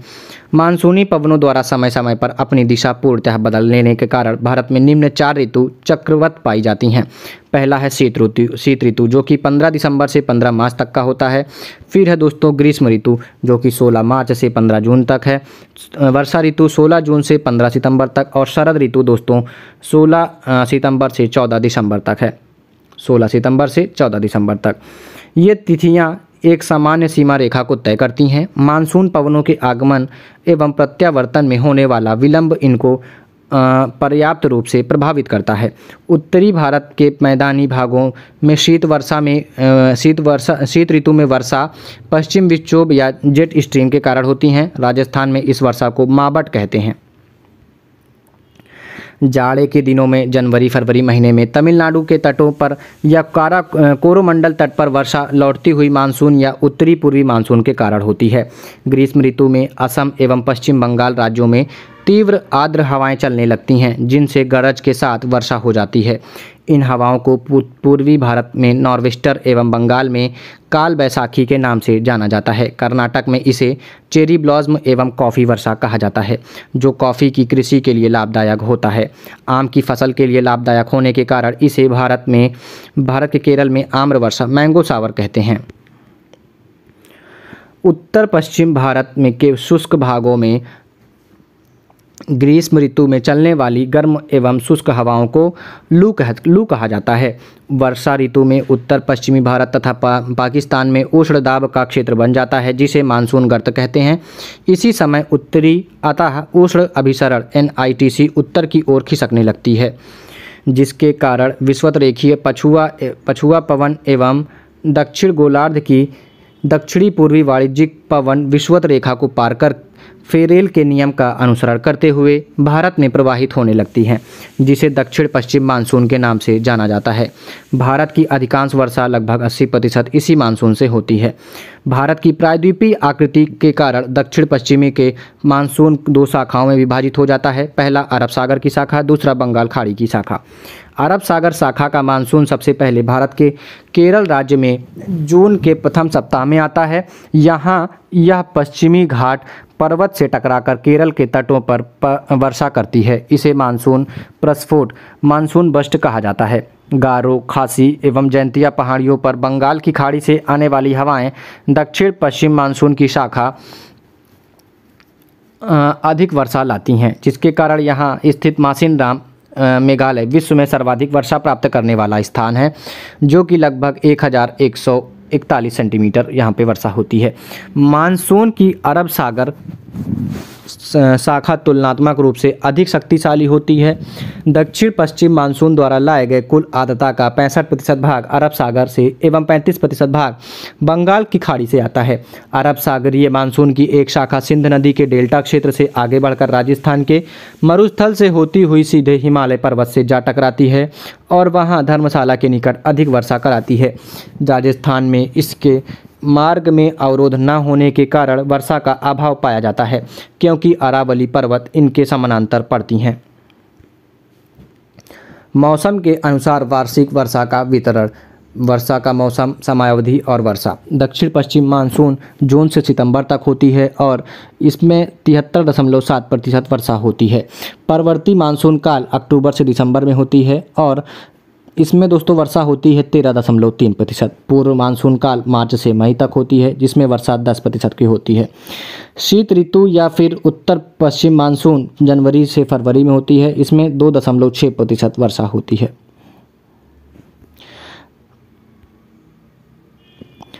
तमिलनाडु पश्चिमी घाट के पर्वत वृष्टि छाया क्षेत्र में पड़ता है यहाँ दक्षिण पश्चिम मानसून द्वारा काफ़ी कम वर्षा होती है तमिलनाडु में शरतकालीन वर्षा उत्तर पूर्वी मानसून के कारण होती है एलिनो और भारतीय मानसून एलिनो एक जटिल मौसम तंत्र है जो हर पाँच या दस साल बाद प्रकट होता है इसके कारण संसार के विभिन्न भागों में सूखा बाढ़ मौसम मौसम की चरम अवस्थाएं चम चरम अवस्थाएं आती हैं पूर्वी प्रशांत महासागर में पेरू के तट के निकट उष्ण समुद्री धारा के रूप में प्रकट होता है इससे भारत सहित अनेक स्थानों का मौसम प्रभावित होता है एलनीनो भूमध्य रेखीय उष्ण समुद्री धारा का विस्तार मात्र है जो अस्थायी रूप से ठंडीय पेरुवियन अथवा हम्बोल्ट धारा पर प्रतिस्थापित हो जाती है यह धारा पेरू तट के जल का तापमान दस डिग्री सेल्सियस तक बढ़ा देती है इसके निम्नलिखित परिणाम हो सकते हैं भूमध्य रेखीय वायुमंडल परिसंचरण में विकृति समुद्री जल में वाष्पन में अनियमितता और प्लवक की मात्रा में कमी जिससे समुद्र में मछलियों की संख्या घट जाती है भारत में मानसून की लंबी अवधि के पूर्वानुमान के लिए एलिनिनो का उपयोग किया जाता है एलिनिनो का शाब्दिक अर्थ बालक ईसा है क्योंकि यह धारा दिसंबर के महीने में क्रिसमस के आसपास नज़र आती है पेरू दक्षिण गोलार्ध दिसंबर में गर्मी का महीना होता है शरद ऋतु को मानसून प्रत्यावर्तन का काल रिट्रीटिंग मानसून सीजन कहा जाता है इस ऋतु में बंगाल की खाड़ी एवं अरब सागर में उष्णकटिबंधीय चक्रवातों की उत्पत्ति होती है इन चक्रवातों से पूर्वी तटीय क्षेत्रों में मुख्यतः आंध्र प्रदेश एवं ओडिशा तथा पश्चिमी तटीय क्षेत्र में गुजरात में काफ़ी क्षति पहुँचती है प्रत्यावर्ती मानसून या मानसूनी निर्वर्तन से सबसे अधिक वर्षा तमिलनाडु में होती है चलिए भारत की मिट्टी देखते हैं मिट्टी के अध्ययन के विज्ञान को मृदा विज्ञान पेडोलॉजी कहा जाता है भारतीय कृषि अनुसंधान परिषद ने भारत की मिट्टियों को आठ वर्गों में विभाजित किया है जो निम्न हैं जलोड़ मिट्टी एलुवियल सॉइल या नदियों द्वारा लाई गई मिट्टी है इस मिट्टी में पोटास की बहुलता होती है लेकिन नाइट्रोजन फास्फोरस एवं ह्यूमस की कमी होती है यह भारत की सबसे उपजाऊ मिट्टी है इसमें चार इसमें धान इसमें धान गेहूँ मक्का तिलहन दलहन आलू आदि फसलें उगाई जाती हैं यह मिट्टी भारत के लगभग 22 प्रतिशत क्षेत्रफल पर पाई जाती है भारत का संपूर्ण उत्तरी मैदान तटीय मैदान जलोढ़ मिट्टी का बना है यह दो प्रकार की होती हैं बांगर और खादर पुराने जलोढ़ मिट्टी को बांगर तथा नई जलोढ़ मिट्टी को खादर कहा जाता है जलोढ़ मिट्टी उर्वरता के दृष्टिकोण से काफ़ी अच्छा मानी जाती है काली मिट्टी ब्लैक सॉइल इसका निर्माण बेसाल्ट चट्टानों के टूटने फूटने से होता है इसमें आयरन चूना एल्युमिनियम और मैग्नीशियम की बहुलता होती है इस मिट्टी का काला रंग टिटेनी फेरस मैग्नेटाइट एवं जीवांश ह्यूमस की उपस्थिति के कारण होता है इस मिट्टी में कार्बनिक पदार्थों की अधिकता होती है इस मिट्टी को रेगुर मिट्टी के नाम से भी जाना जाता है कपास की खेती के लिए यह सर्वाधिक उपयुक्त होती है अतः इसे कप काली कपास की मिट्टी भी कहा जाता है अन्य फसलों में गेहूं, ज्वार बाजरा आदि को उगाया जाता है भारत में काली मिट्टी गुजरात महाराष्ट्र मध्य प्रदेश के पश्चिमी क्षेत्र ओडिशा के दक्षिणी क्षेत्र कर्नाटक के उत्तरी जिला आंध्र प्रदेश के दक्षिणी एवं समुद्र तटीय क्षेत्र तमिलनाडु के सलेम रामनाथपुरम कोयम्बटूर तथा तिरु तिरुनवलई जिलों को जिलों एवं राजस्थान के बूंदी एवं टोंक जिलों में पाई जाती हैं लाल मिट्टी रेड सॉइल इसका निर्माण जलवायविक परिवर्तनों के परिणाम स्वरूप रवेदार एवं कायांतरिक शैलों के विघटन एवं वियोजन से होता है इस मिट्टी में सिलिका एवं आयरन की बहुलता होती है लाल मिट्टी का लाल रंग लौह ऑक्साइड की उपस्थिति के कारण होता है लेकिन जल योजित रूप में यह पीली दिखाई पड़ती है यह अमली प्रकृति की मिट्टी होती है इसमें नाइट्रोजन फास्फोरस एवं ह्यूमस की कमी होती है यह मिट्टी प्रायः उर्वरता विहीन बंजर भूमि के रूप में पाई जाती है इस मिट्टी में कपास गेहूं दालें मोटे अनाजों की कृषि की जाती है भारत में यह मिट्टी आंध्र प्रदेश एवं मध्य प्रदेश के पूर्वी भाग छोटा नागपुर के पठारी क्षेत्र पश्चिम बंगाल के उत्तर पश्चिमी जिलों मेघालय की गारो खासी एवं जयंतिया पहाड़ियों पहाड़ी क्षेत्रों नागालैंड राजस्थान में अरावली के पूर्वी क्षेत्र महाराष्ट्र तमिलनाडु एवं कर्नाटक के कुछ भागों में पाई जाती है चूना का इस्तेमाल कर लाल मिट्टी की उर्वरता बढ़ाई जा सकती है लेटराइट मिट्टी लेटराइट सॉइल इसका निर्माण मानसूनी जलवायु की आर्द्रता एवं शुष्कता के क्रमिक परिवर्तन के परिणाम स्वरूप उत्पन्न विशिष्ट परिस्थितियों में होता है इसमें आयरन एवं सिलिका की बहुलता होती है शैलों के टूट फूट से निर्मित होने वाली इस मिट्टी को गहरी लाल लेटेराइट सफ़ेद लेटेराइट तथा भूमिगत जलवायु लेटेराइट के रूप में भी वर्गीकृत किया जाता है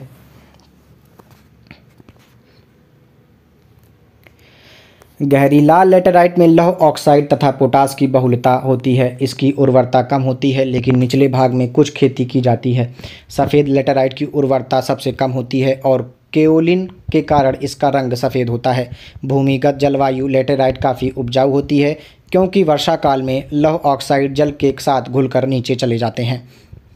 लेटेराइट मिट्टी चाय इलायची एवं काजू की खेती के लिए सर्वाधिक उपयुक्त होती है देश में मृदा अपर्दन व दुष उसके दुष्परिणामों के पर नियंत्रण हेतु उन्नीस में केंद्रीय मृदा संरक्षण बोर्ड का गठन किया गया था मरुस्थल की समस्या के अध्ययन के लिए जोधपुर में केंद्रीय शुष्क क्षेत्र अनुसंधान संस्थान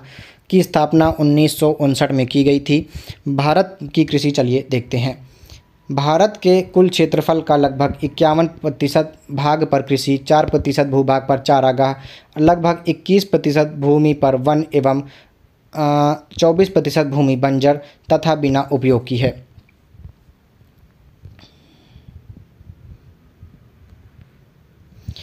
कृषि राज्य का विषय है जिसका उल्लेख संविधान की सातवीं अनुसूची में प्रविष्ट चौदह में है प्रविष्टि चौदह में है राष्ट्रीय कृषक आयोग एनएफसी ने 4 अक्टूबर 2006 को सिफारिश प्रस्तुत किया कि कृषि को राज्य सूची से हटाकर समवर्ती सूची में लाया जाए चलिए दोस्तों विभिन्न प्रकार की कृषि विधियां देखते हैं सेरी कल्चर दोस्तों रेशम कीट पालन कहलाता है एपी कल्चर मधुमक्खी पालन पीसी कल्चर में मत्स्य पालन होता है फ्लोरी कल्चर में फूलों का उत्पादन वीटी कल्चर में अंगूर की खेती वर्मी कल्चर में केचुआ पालन पोमो कल्चर में फलों का उत्पादन होता है ओलेरी कल्चर में सब्जियों सब्जियों का उत्पादन होता है हॉर्टिकल्चर में बागवानी का एरोपोटिक में होता है हवा में पौधों का उगाना हाइड्रोपोनिक्स में दोस्तों जल में पौधों को उगाना मृदा रहित कृषि इसको बोलते हैं भारत के अंतरिम मंत्रिमंडल 1946 ईस्वी में और स्वतंत्र भारत के पहले मंत्रिमंडल उन्नीस में कृषि और खाद्य मंत्री डॉक्टर राजेंद्र प्रसाद को बनाया गया भारत में खाद्यान्नों के अंतर्गत आने वाले कुल क्षेत्र के सैंतालीस प्रतिशत भाग पर चावल की खेती की जाती है भारत के मुख्य खाद्य फसल चावल है भारत का विश्व का इक्कीस दशमलव सात प्रतिशत चावल उत्पादन करता है चावल उत्पादन में भारत का विश्व में दूसरा स्थान है और चीन का पहला स्थान भारत में खाद्य फसलों में सबसे अधिक चावल का उत्पादन होता है आई आर ट्वेंटी चावल की अधिक पैदावार देने वाली किस्म है विश्व की गेहूं उत्पादन में चीन के बाद भारत का दूसरा स्थान है विश्व भारत विश्व का बारह प्रतिशत गेहूँ उत्पादन करता है देश की कुल कृषि योग्य भूमि के लगभग चौदह प्रतिशत भाग पर गेहूँ की जाती है देश में देश में गेहूं के उत्पादन पर उत्तर प्रदेश का प्रथम स्थान है जबकि प्रति हेक्टेयर उत्पादन में पंजाब का प्रथम स्थान है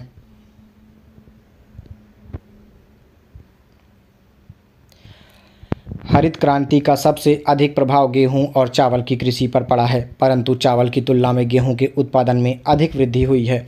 मैक्सिको तथा फिलीपींस में क्रमशः गेहूं और चावल की अधिक उत्पादकता की किस्में विकसित की गई थीं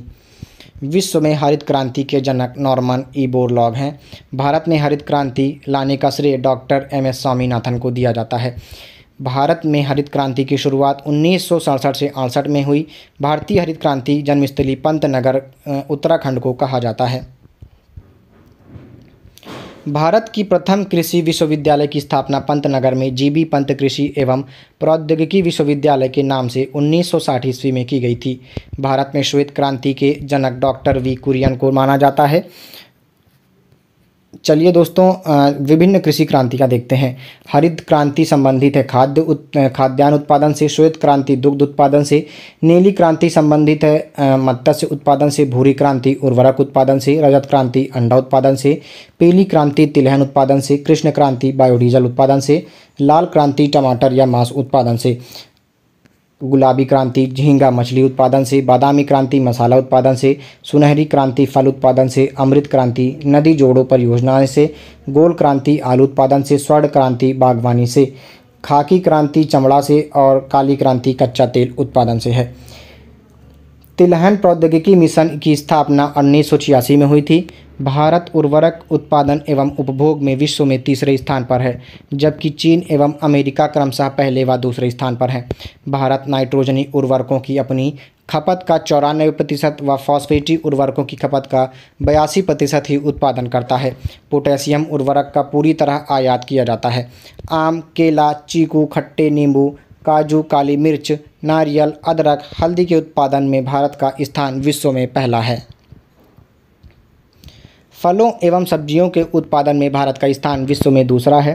प्रथम स्थान चीन का है विश्व में तंबाकू का सबसे बड़ा उत्पादक एवं उपभोक्ता चीन है उत्पादन में भारत का स्थान तीसरा है तंबाकू की पत्तियों को सुखाने की प्रक्रिया को क्यूरिंग कहते हैं जिसमें जिससे पत्तियों में वांछित रंग गंध आदि गुणों का विकास होता है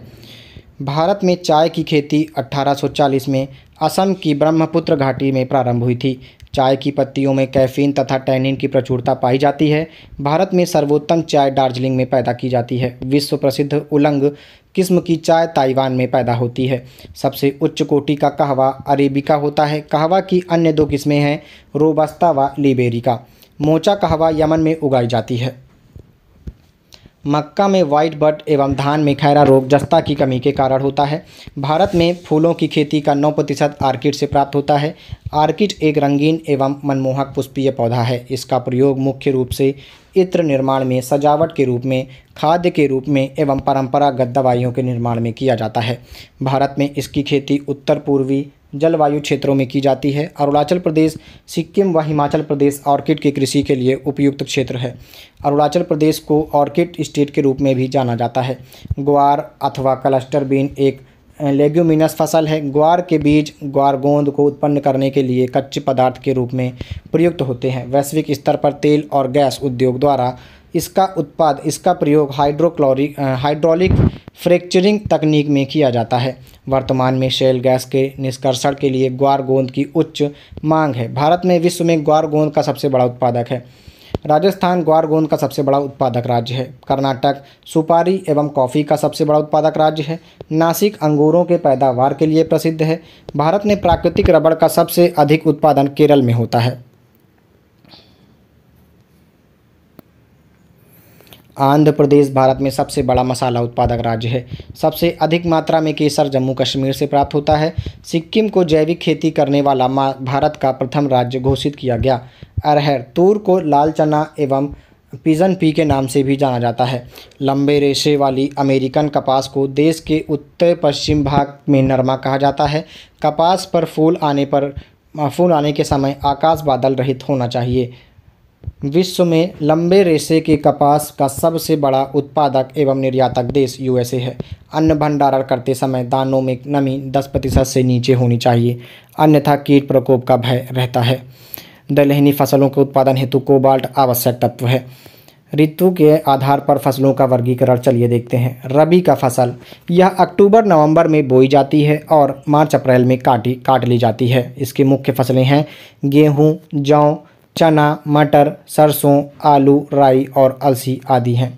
खरीफ फसल दक्षिण पश्चिम मानसून के तत्काल बाद बोई गई फसल है यह जून जुलाई में बोई जाती है और नवंबर दिसंबर में काट ली जाती है इसकी मुख्य फसलें धान गन्ना तिलहन ज्वार बाजरा मक्का अरहर कपास मूंगफली मंडुआ तिल सोयाबीन आदि है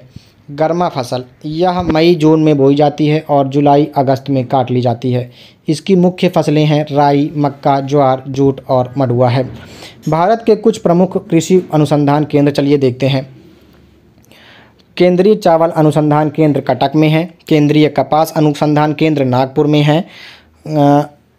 राष्ट्रीय गन्ना प्रजनन संस्थान कोयम्बटूर में है भारतीय गन्ना अनुसंधान केंद्र लखनऊ में है केंद्रीय आलू अनुसंधान संस्थान शिमला में है राष्ट्रीय चाय अनुसंधान केंद्र जोरहाट में है राष्ट्रीय कॉफ़ी अनुसंधान केंद्र चिकमल्लूर में है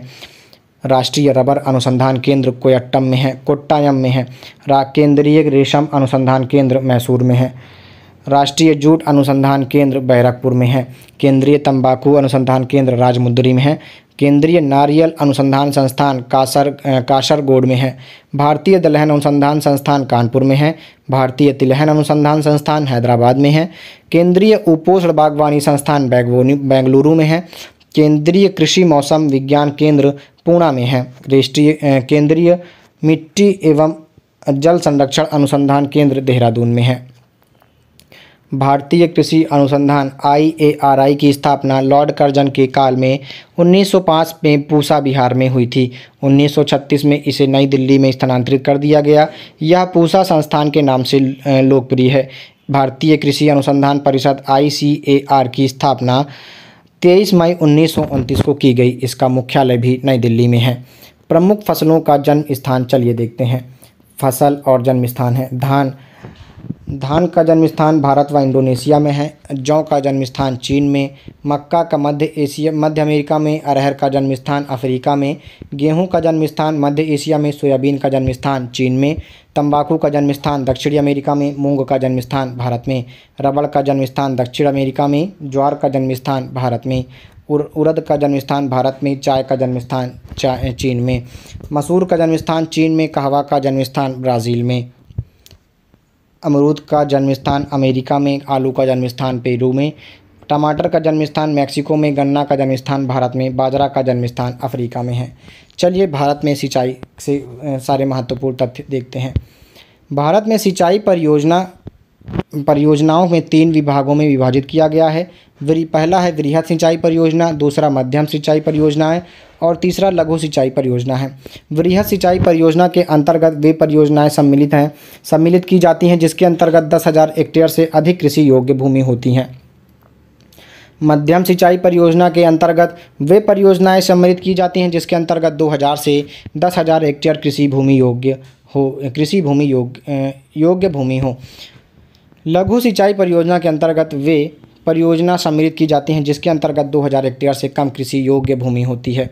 वर्तमान समय में भारत की कुल सिंचित क्षेत्र का सैंतीस प्रतिशत बड़ी एवं मध्यम सिंचाई परियोजना के अधीन तथा तिरसठ प्रतिशत छोटी सिंचाई योजनाओं के अधीन आती हैं सिंचाई के साधन देखते हैं और सिंचाई के साधन और सिंचित भाग कुआं व नलकूपों से दोस्तों पचपन दशमलव नौ प्रतिशत भाग सिंचित होता है नहर से इकतीस दशमलव चार प्रतिशत भाग सिंचित होता है तालाब से छः दशमलव एक प्रतिशत भाग सिंचित होता है अन्य स्रोत से छः दशमलव छः भाग सिंचित होता है विश्व का सब सर्वाधिक सिंचित क्षेत्र चीन में इक्कीस प्रतिशत भारत में बीस दशमलव दो प्रतिशत है भारत में शुद्ध बोए जाने वाले बोए गए क्षेत्र 1360 लाख हेक्टेयर के लगभग 33 प्रतिशत भाग पर सिंचाई की सुविधा उपलब्ध है वर्तमान समय में कुआं और नलकूप भारत में सिंचाई के प्रमुख साधन हैं देश में सर्वाधिक नलकूप व पंप सेट तमिलनाडु में अठारह प्रतिशत है तमिलनाडु में पाए जाते हैं महाराष्ट्र में पंद्रह दशमलव छः प्रतिशत है दूसरा स्थान है और केवल नलकूपों की सर्वाधिक सघनता वाला राज्य उत्तर प्रदेश है प्रायद्वीपी भारत में सिंचाई का प्रमुख साधन तालाब है तालाब द्वारा सर्वाधिक सिंचाई तमिलनाडु राज्य में की जाती है दमन गंगा सिंचाई परियोजना दमन गंगा नदी पर कार्यरत है इस परियोजना के तहत बना जलाशय गुजरात के वलसाड जिले में स्थापित है यह गुजरात एवं दादर एवं नागर हवेली में की संयुक्त परियोजना है दमन गंगा नदी महाराष्ट्र एवं गुजरात से बहते हुए अरब सागर में गिरती है गिरना सिंचाई परियोजना महाराष्ट्र के नासिक जिले से में गिरना नदी पर स्थापित की गई है पाम्बा सिंचाई परियोजना केरल के पाम्बा नदी पर स्थित है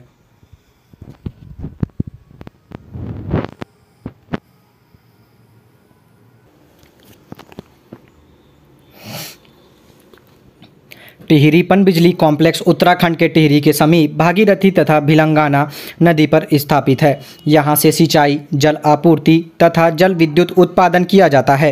इंदिरा गांधी नहर को सतलज नदी से जल मिलता है यह भारत की सबसे लंबी सिंचाई नहर है सारण सिंचाई नहर एवं त्रिवेणी नहर गंडक नदी से जल प्राप्त करती है राष्ट्रीय जल संभर परियोजना का क्रियान्वयन कृषि मंत्रालय द्वारा किया जाता है मल्टी स्टेज लिफ्टिंग सिंचाई स्कीम काल कालेश्वरम तेलंगाना के जयशंकर भूपलपल्ली जिले के मेडीगड्डा में विश्व के सबसे बड़े मल्टी स्टेज लिफ्ट सिंचाई स्कीम कालेश्वरम का लोकार्पण तेलंगाना के मुख्यमंत्री के चंद्रशेखर राव ने 21 जून 2019 को किया इस प्रोजेक्ट की मुख्य विशेषताएं निम्नलिखित हैं कालेश्वरम लिफ्ट सिंचाई प्रोजेक्ट में एक सौ अधिकतम क्षमता वाले पंप का उपयोग किया गया है विश्व में अभी तक इतनी क्षमता वाले पंप का उपयोग कहीं भी नहीं किया गया है विश्व के सबसे बड़े टनल रूट 203 मीटर का निर्माण किया गया है कालेश्वरम विश्व की सबसे अकेली एकमात्र ऐसी प्रोजेक्ट है जो प्रतिदिन दो टीएमसी पानी लिफ्ट कर सकती है इस प्रोजेक्ट के लिए इस प्रोजेक्ट के जरिए पैंतालीस लाख एकड़ भूमि एवं हजारों गांवों के पानी की ज़रूरत को पूरी कर सकती है पूरी होगी पहली बार ऐसा हुआ है जब गोदावरी नदी का पानी कृषि भूमि को पानी की सप्लाई के लिए बानबे मीटर की ऊंचाई से फेज में लिफ्ट किया गया है और 618 मीटर मीटर ऊंचाई तक पेडी गड्ढा एरिया में बानबे मीटर की ऊंचाई तथा कोंडा पोछा सागर में सबसे अधिक 618 मीटर ऊंचाई तक किया गया है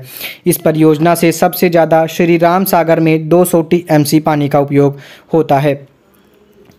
जबकि सबसे कम अनंतगिरी में तीन टीएमसी पानी उपयोग में लाया जाता है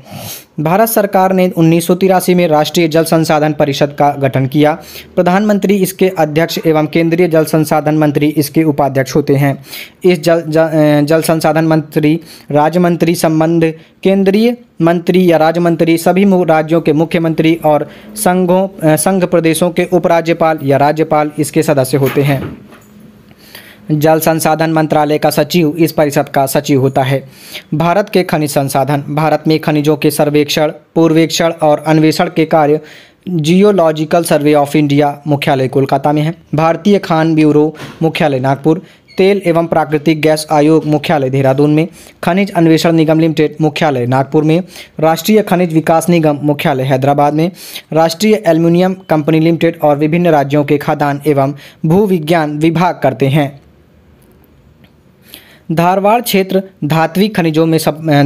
सर्वाधिक संपन्न है भारत के शीर्ष पाँच खनिज उत्पादक राज्य क्रमशः ओडिशा राजस्थान आंध्र प्रदेश छत्तीसगढ़ और झारखंड है अपरिष्कृत अपरिष्कृत पेट्रोलियम टर्शियरी युग की औषाधि शैलों में पाया जाता है व्यवस्थित ढंग से तेल अन्वेषण और उत्पादन उन्नीस में तेल एवं प्राकृतिक गैस आयोग की स्थापना के बाद प्रारंभ हुआ भारत में शेल गैस के संसाधन Cambay basin Krishna Godavari basin Kaveri basin और विंध्यन वे बेसिन में पाए गए हैं भारत के उद्योग चलिए देखते हैं लौह इस्पात उद्योग आयरन स्टील इंडस्ट्री देश में पहला लौह इस्पात कारखाना अठारह में बराकर नदी के किनारे कुल्टी आसनसोल पश्चिम बंगाल नामक स्थान पर बंगाल आयरन वर्क्स बी के रूप में स्थापित किया गया था बाद में यह कंपनी फंड के अभाव में बंद हो गई थी तो इसे बंगाल सरकार ने अधिग्रहण कर लिया और इसका नाम बढ़ाकर आयरन वर्क्स रखा देश में सबसे पहले बड़े पैमाने का कारखाना 1907 में तत्कालीन बिहार राज्य में स्वर्ण रेखा नदी की घाटी में साकची नामक स्थान पर जमशेद जमशेद जी टाटा द्वारा स्थापित किया गया स्वतंत्रता के पूर्व स्थापित लौह इस्पात कारखाना भारतीय लौह इस्पात कंपनी इसकी मुख्य स्थापना सॉरी इसकी स्थापना 1918 ईस्वी में पश्चिम बंगाल की दामोदर नदी घाटी के हीरापुर बाद में इसे बर्नपुर कहा गया नामक स्थान पर की गई थी यहाँ 1922 से उत्पादन शुरू हुआ आगे चलकर कुल्टी बर्नपुर तथा हीरापुर स्थित संयंत्रों को इसमें मिला दिया गया Mysore iron and steel works दो तेईस में मैसूर राज्य वर्तमान कर्नाटक के भद्रावती नामक स्थान पर स्थापित की गई थी इसका वर्तमान नाम Visvesvaraya iron and steel company limited है विस्कल है विस्कल है स्टील कॉरपोरेशन ऑफ बंगाल इसकी स्थापना उन्नीस में बर्नपुर पश्चिम बंगाल में की गई थी बाद में उन्नीस में इसके भारतीय लौह इस्पात कंपनी में मिला दिया गया स्वतंत्रता के पश्चात स्थापित लौह इस्पात कारखाना दूसरी पंचवर्षीय योजना काल उन्नीस से इकसठ में स्थापित कारखाना भिलाई इस्पात संयंत्र इसकी स्थापना 1955 ईस्वी में तत्कालीन मध्य प्रदेश के भिलाई दुर्ग जिला छत्तीसगढ़ छत्तीसगढ़ में पूर्व सोवियत संघ की सहायता से की गई थी उन्नीस में इसने उत्पा इसमें उत्पादन प्रारंभ हो गया था हिंदुस्तान स्टील लिमिटेड राउरकेला इसकी स्थापना उन्नीस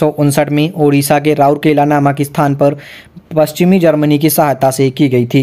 हिंदुस्तान स्टील लिमिटेड दुर्गापुर इसकी स्थापना उन्नीस में पश्चिम बंगाल के दुर्गापुर नामक स्थान पर ब्रिटेन की सहायता से की गई थी उन्नीस में इसके इसमें उत्पादन प्रारंभ हो गया था तृतीय पंचवर्षीय योजना काल में स्थापित कारखाने चलिए देखते हैं बोकारो स्टील प्लांट इसकी स्थापना उन्नीस में तत्कालीन बिहार राज्य अब झारखंड के बोकारो नामक स्थान पर पूर्व सोवियत संघ की सहायता से की गई थी चौथी पंचवर्षीय योजना काल में स्थापित कारखाना चलिए देखते हैं सलेम इस्पात संयंत्र सलेम तमिलनाडु में किया गया था स्थापना इसका विशाखापट्टनम इस्पात संयंत्र विशाखापट्टनम आंध्र प्रदेश में स्थापना किया गया था विजयनगर इस्पात संयंत्र हासपेट वेलारी जिला कर्नाटक में किया गया था इसका स्थापना steel authority of India SAIL 24 जनवरी उन्नीस को 2000 करोड़ की पूंजी के साथ भारत इस्पात प्राधिकरण स्टील अथॉरिटी ऑफ इंडिया को भिलाई दुर्गापुर बोकारो राउरकेला बर्नपुर सलेम एवं विश्वेश्वरैया लौह इस्पात कारखाने को एक साथ मिलाकर संचालन करने की जिम्मेदारी दी गई वर्ष 2014 में भारत चीन जापान तथा यूएसए के बाद विश्व का चौथा सबसे बड़ा इस्पात उत्पादक देश बन गया स्पंज आयरन के उत्पादन में भारत का विश्व में प्रथम स्थान है भारत का पहला तत्वर्ती इस्पात कारखाना विशाखापट्टनम आंध्र प्रदेश में लगाया गया एल्युमिनियम उद्योग भारत में एल्युमिनियम का पहला कारखाना उन्नीस में पश्चिम बंगाल के आसनसोल के निकट जेके नगर में स्थापित किया गया था उन्नीस में चार कारखाने तत्कालीन बिहार राज्य के मुरी केरल के आलनवाय पश्चिम बंगाल के वेलूर व ओडिशा के हीराकुंड में स्थापित किए गए Hindustan aluminium corporation limited Hindalco की स्थापना उन्नीस में रेणुकूट उत्तर प्रदेश नामक स्थान से की गई थी मद्रास एल्युमिनियम कंपनी तमिलनाडु में तमिलनाडु के मैटूर में स्थापित की गई भारत की प्रमुख एल्यूमिनियम कंपनी चलिए देखते हैं बाल्को सहायक देश सोवियत संघ से स्थापित की गई प्रमुख केंद्र इसका कोरबा एवं कोयना है नालको दोस्तों सहायक फ्रांस की सहायता से इसको स्थापित किया गया था दामन जोड़ी ओडिशा में है प्रमुख केंद्र इसका हिंडालको यूएसओ की यूएसए की सहायता से स्थापित किया गया रेणुकूट उत्तर प्रदेश में है इंडालको इंडालको कनेडा की सहायता से किया गया जेके नगर मुरी अलवाई में है मालको मालको इटली की सहायता से इसको स्थापित किया गया चेन्नई मेटूर सले में है वेदांता जर्मनी की सहायता से इसको स्थापित किया गया झारसुगुड़ा में है इसका प्रमुख केंद्र एल्युमिनियम उत्पादन करने में भारत का विश्व में आठवां स्थान है national aluminium company limited NALCO देश के सबसे बड़े समन्वित एल्युमिनियम संयंत्र परिसर का गठन 7 जनवरी 1981 को किया गया था इसका पंजीकृत कार्यालय भुवनेश्वर में है सूती वस्त्र उद्योग कॉटन टेक्सटाइल इंडस्ट्री आधुनिक ढंग से सूती वस्त्र की पहली मिल स्थापना 1818 में कोलकाता के समीप फोर्ट ग्लास्टर में की गई थी किंतु यह असफल रही थी सबसे पहला सफल आधुनिक सूती कपड़ा कारखाना अठारह में बम्बई में कावासजी डावर द्वारा खोला गया जिसमें अठारह ईस्वी में उत्पादन प्रारंभ हुआ सूती वस्त्र उद्योग का सर्वाधिक केंद्रीकरण महाराष्ट्र एवं गुजरात राज्य में है अन्य प्रमुख राज्य हैं इसके पश्चिम बंगाल मध्य प्रदेश तमिलनाडु आंध्र प्रदेश केरल और उत्तर प्रदेश मुंबई को भारत के सूती वस्त्रों की राजधानी के उपनाम से जाना जाता है कानपुर को उत्तर भारत का मैनचेस्टर कहा जाता है कोयम्बटूर को दक्षिण भारत का मैनचेस्टर कहा जाता है अहमदाबाद को भारत का बोस्टन कहा जाता है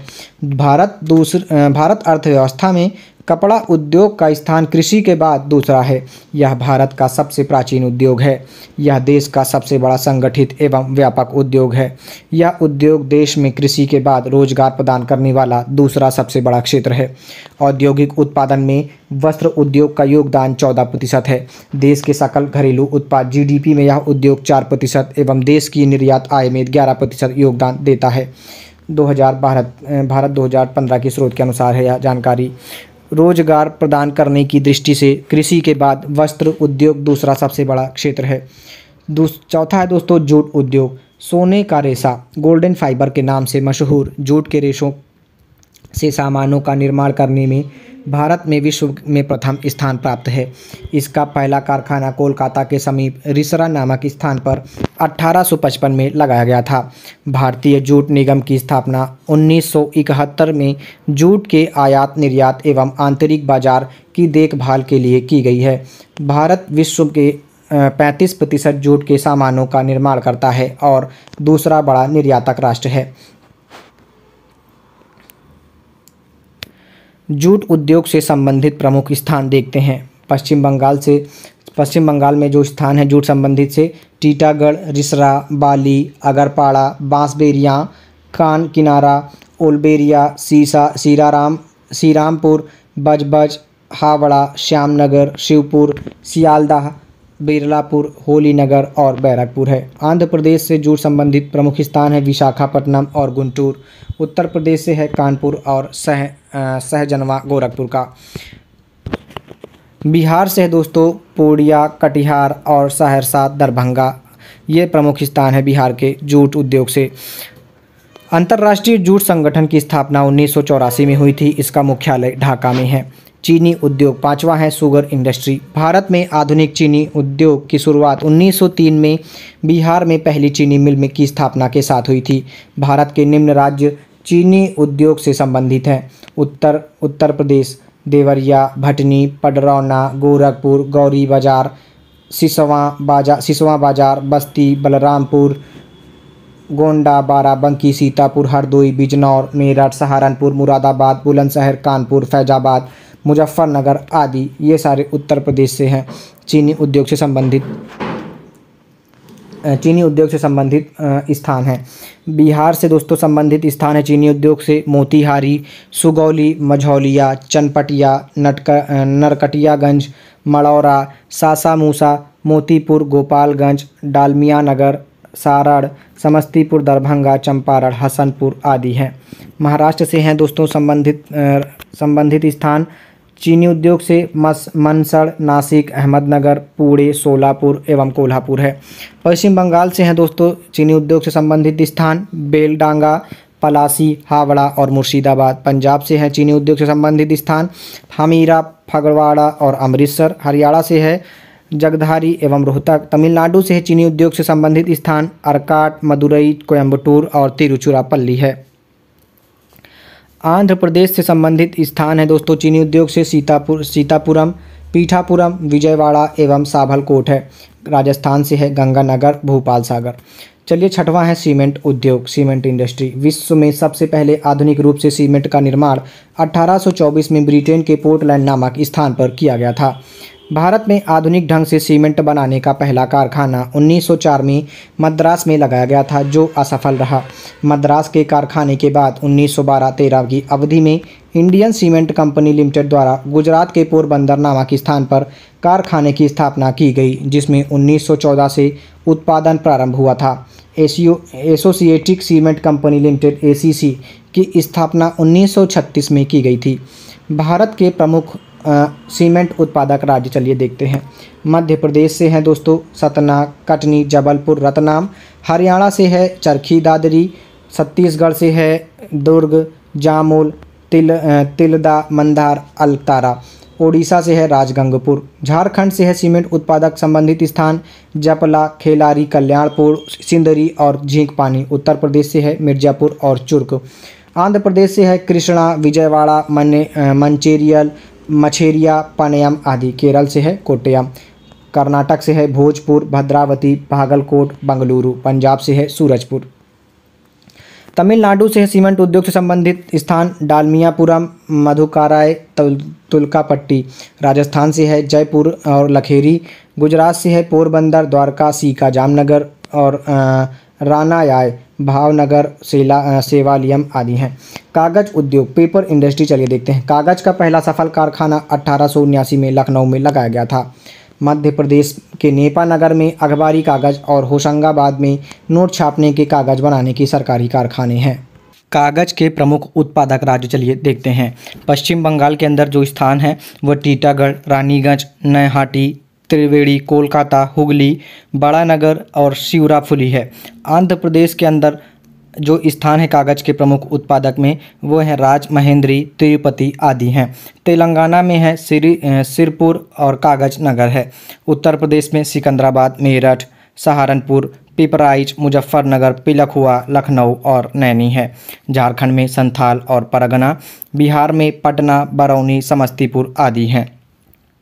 मध्य प्रदेश में नेपानगर अखबारी कागज़ बनाने का सरकारी कारखाना है और तमिलनाडु में पट्टी पलायन में सलेम जो कि और चरा चरण महादेवी जो कि तिरुवनल तिरुनल वैली में है और पालनी है कागज़ के उद्योग के लिए महाराष्ट्र महाराष्ट्र में दोस्तों मुंबई पुणे बल्लारपुर चंद्रपुर कल्याण कराड़ पिंपरी भिवंडी रोहा आदि स्थान है कागज़ के उद्योग के लिए गुजरात गुजरात में दोस्तों वापी सूरत बडोदरा राजकोट बरदोज उदावड़ा और आदि हैं कागज़ के उद्योग के लिए रासायनिक उर्वरक उद्योग केमिकल फर्टिलाइजर इंडस्ट्री चलिए देखते हैं ऐतिहासिक रूप से देश में सुपर फास्फेट उर्वरक का पहला कारखाना 1906 ईस्वी में तमिलनाडु के रानीपेट नामक स्थान पर स्थापित किया गया था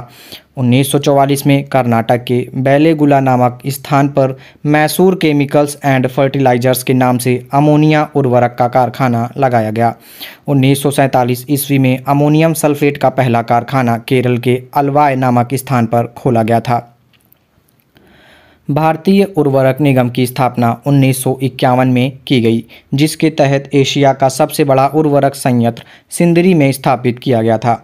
भारत पोटाश उर्वरक के लिए पूरी तरह आयात पर निर्भर है भारत में नाइट्रोजनी उर्वरक की खपत सबसे अधिक है भारत सरकार कृषि में नीम आलोपित यूरिया के उपयोग को बढ़ावा दे रही है क्योंकि नीम लेप मृदा में यूरिया के घुलने की दर को धीमा कर देता है भारत में प्रति हेक्टेयर उर्वरक खपत में प्रथम स्थान पंजाब का है और दूसरा एवं तीसरा स्थान क्रमशः आंध्र प्रदेश और हरियाणा का है कोक आधारित उर्वरक इकाइयाँ तालचर ओडिशा में रामागुंडम आंध्र प्रदेश में और कोरबा छत्तीसगढ़ में अवस्थित है क्रिभुको का गैस आधारित यूरिया अमोनिया संयंत्र हाजीरा गुजरात में स्थित है उत्तर प्रदेश के शाहजहाँपुर में शाहजहाँ एवं जगदीशपुर का कारखाना भी गैस आधारित है भारत के प्रमुख रासायनिक उर्वरक उत्पादक राज्य चलिए देख लेते हैं उत्तर प्रदेश उत्तर प्रदेश है दोस्तों उत्तर प्रदेश के अंतर्गत कानपुर गोरखपुर इलाहाबाद का फूलपुर आता है झारखंड के अंदर सिंदरी है महाराष्ट्र के अंतर अंदर दोस्तों स्थान है मुंबई ट्राम्बे अंबरनाथ एवं लोनी है रासायनिक उर्वरक उत्पादक में राजस्थान में दोस्तों खेतड़ी सलादीपुर एवं कोटा है रासायनिक उर्वरक उत्पादक में बिहार में बरौनी है ओडिशा में राउरकेला और तलचर है पश्चिम बंगाल में बर्नपुर हल्दिया रिसरा और खारदा है कर्नाटक में मंगलुरु बेलागुला तथा मुनीराबाद है रासायनिक उर्वरक उत्पादक में गुजरात में कांडला बडोदरा हजीरा और भावनगर है उर्वरक उत्पादन में आंध्र प्रदेश में दोस्तों विशाखापट्टनम तादेपल्ली तनूक है तनुकू है उर्वरक उत्पादन में तमिलनाडु के अंदर दोस्तों न्यू बेली रानीपेट इन्नौर कोयम्बटूर तूतीकोरिन आवाड़ी एवं मनाली है जलयान निर्माण उद्योग चलिए देखते हैं भारत में जलयान निर्माण का प्रथम कारखाना 1941 में सिंधिया स्टीम नेविगेशन कंपनी द्वारा विशाखापट्टनम में स्थापित किया गया था उन्नीस में भारत सरकार द्वारा इसका अधिग्रहण करके हिंदुस्तान शिपयार्ड विशाखापट्टनम नाम दिया गया सार्वजनिक क्षेत्र की अन्य इकाइयां जो जलयानों का निर्माण करती हैं पहला है garden reach workshop limited Kolkata Paschim Bengal का दूसरा है गोवा शिपयार्ड लिमिटेड गोवा तीसरा है मंझगांव डाक लिमिटेड मुंबई महाराष्ट्र में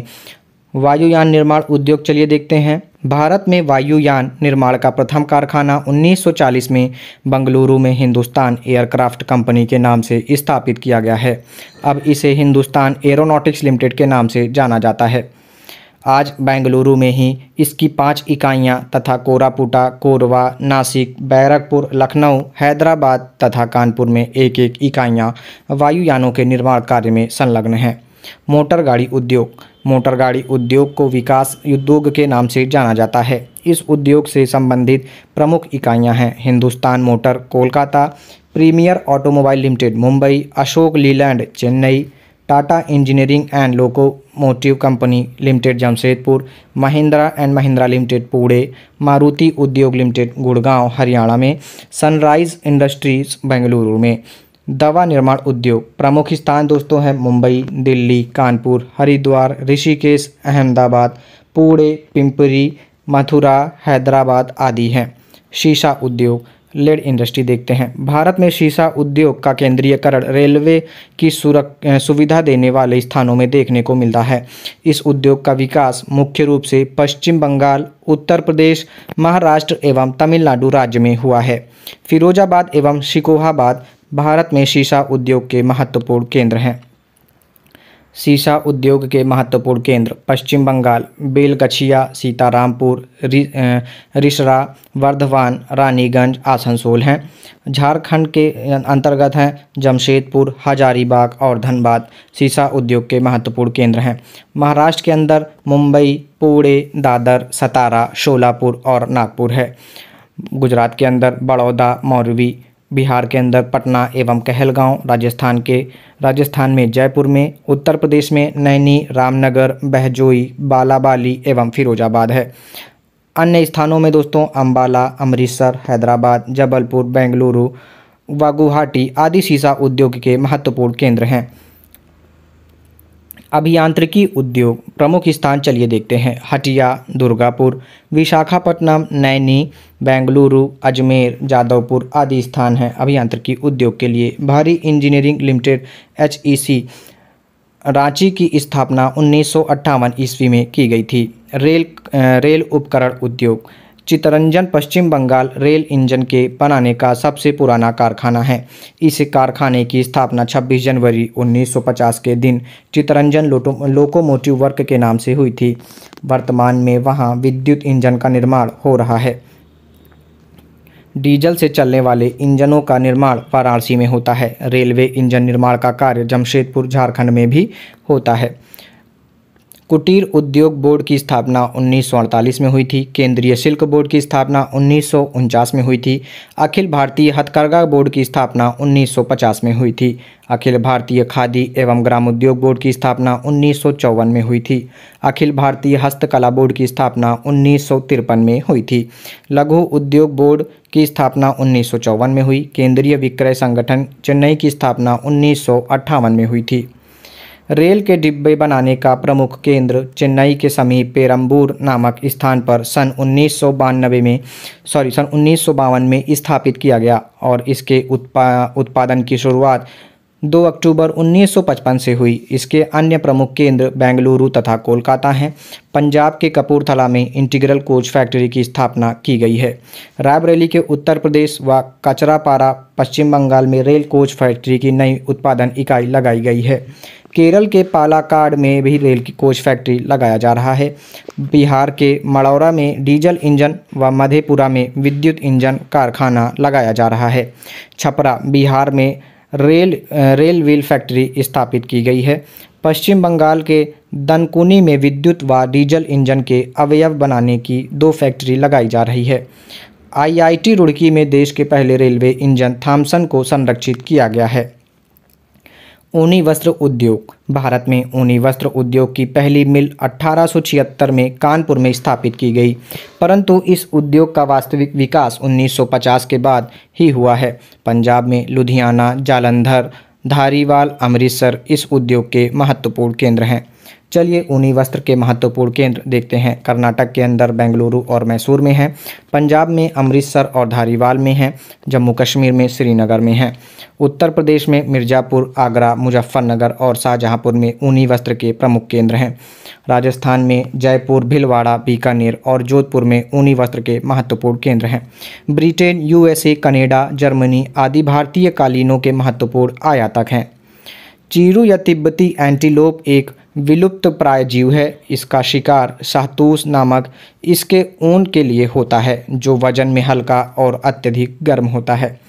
बिजली के सामान भोपाल हरिद्वार रामचंद्रपुरम हैदराबाद में तिरुचि तिरुचुरापल्ली एवं कोलकाता बिजली के सामान बनाने के महत्वपूर्ण केंद्र हैं टेलीफोन उद्योग बेंगलुरु एवं रूपनारायणपुर टेलीफोन उद्योग के महत्वपूर्ण केंद्र हैं रेशम उद्योग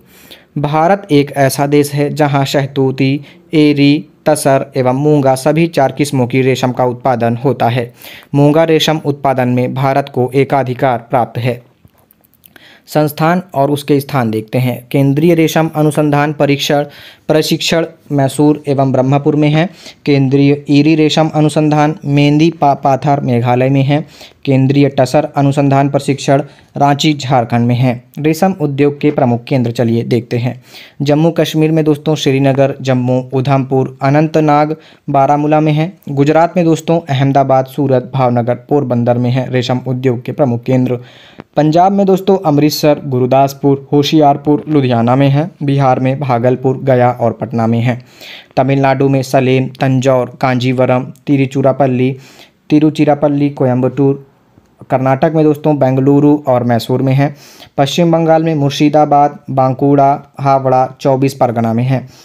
उत्तर प्रदेश में मिर्ज़ापुर वाराणसी और शाहजहाँपुर में रेशम उद्योग के प्रमुख केंद्र हैं कर्नाटक देश का इकतालीस प्रतिशत से अधिक कच्चा रेशम उत्पादन करता है यहाँ सहतूती मलबरी रेशम बनाया जाता है यहाँ देश का छप्पन परसेंट छप्पन प्रतिशत रेशमी धागा बनाया जाता है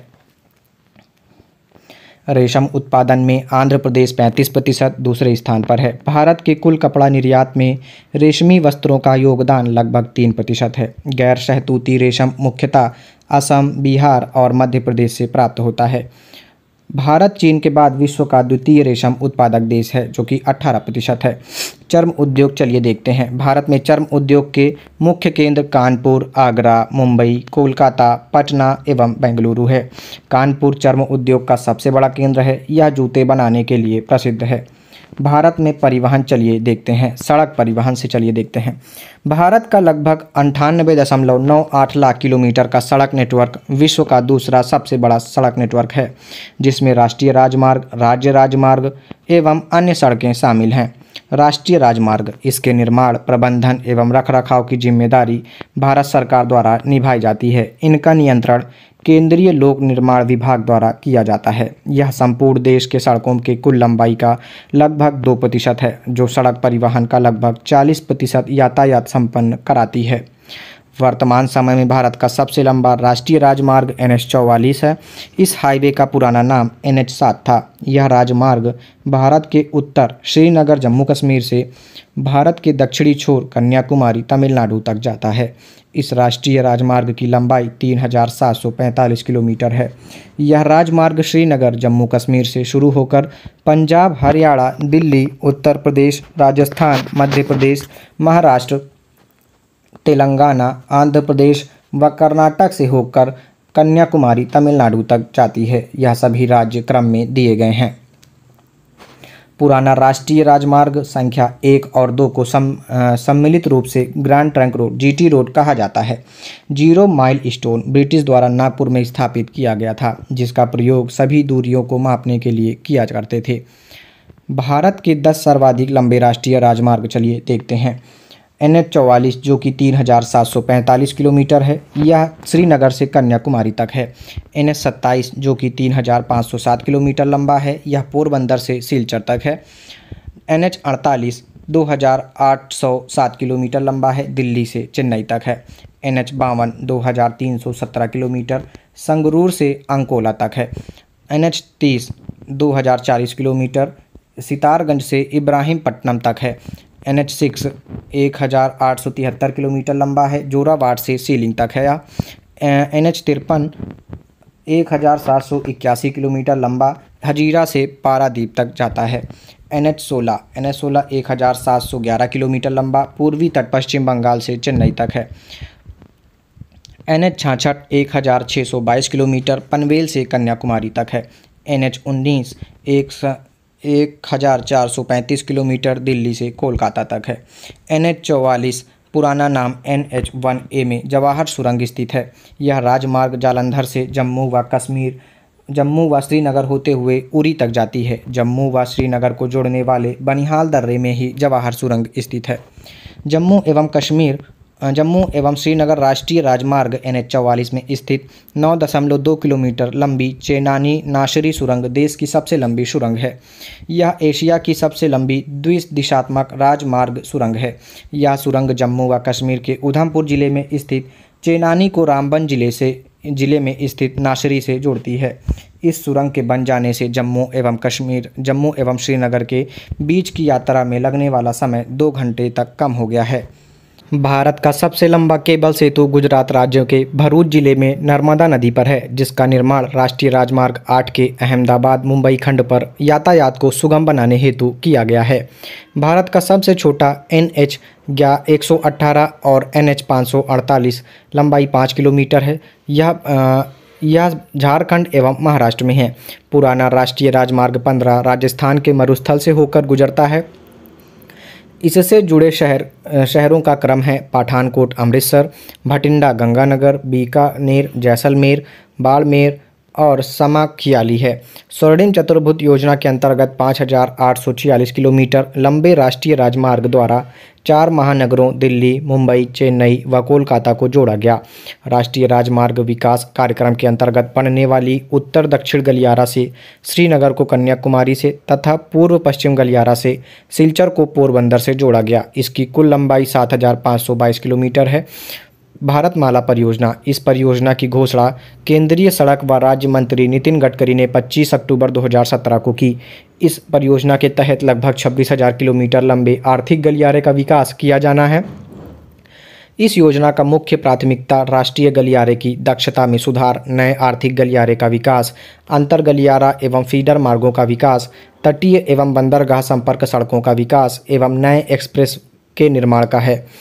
सेतु भारतम इस योजना के तहत राष्ट्रीय राजमार्गों पर लेवल क्रॉसिंग के स्थान पर R O B R U B बनाने की है चार धाम महान मार्ग विकास परियोजना यह योजना उत्तराखंड में चा, स्थित चार प्रसिद्ध धाम गंगोत्री यमुनोत्री केदारनाथ एवं बद्रीनाथ की यात्रा को सुगम बनाने के लिए इनके संपर्क मार्ग के विकास के बारे में है इसके तहत दो लेन वाली आठ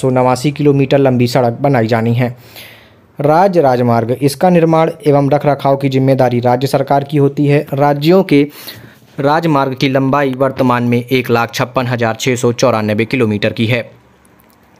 राज्यों में सड़क मार्ग की लंबाई में प्रथम स्थान महाराष्ट्र का है सड़क निर्माण क्षेत्र में निजी भागीदारी को बढ़ावा देने के लिए सरकार ने बनाओ चलाओ और हस्तांतरित करो बीओटी की नीति अपनाई है माल परिवहन का लगभग पैंसठ प्रतिशत और यात्री परिवहन का लगभग अस्सी प्रतिशत सड़कों से ही होता है प्रधानमंत्री ग्राम सड़क योजना के अंतर्गत 500 की आबादी वाले सभी गांवों को बारहमासी सड़कों से जोड़ना है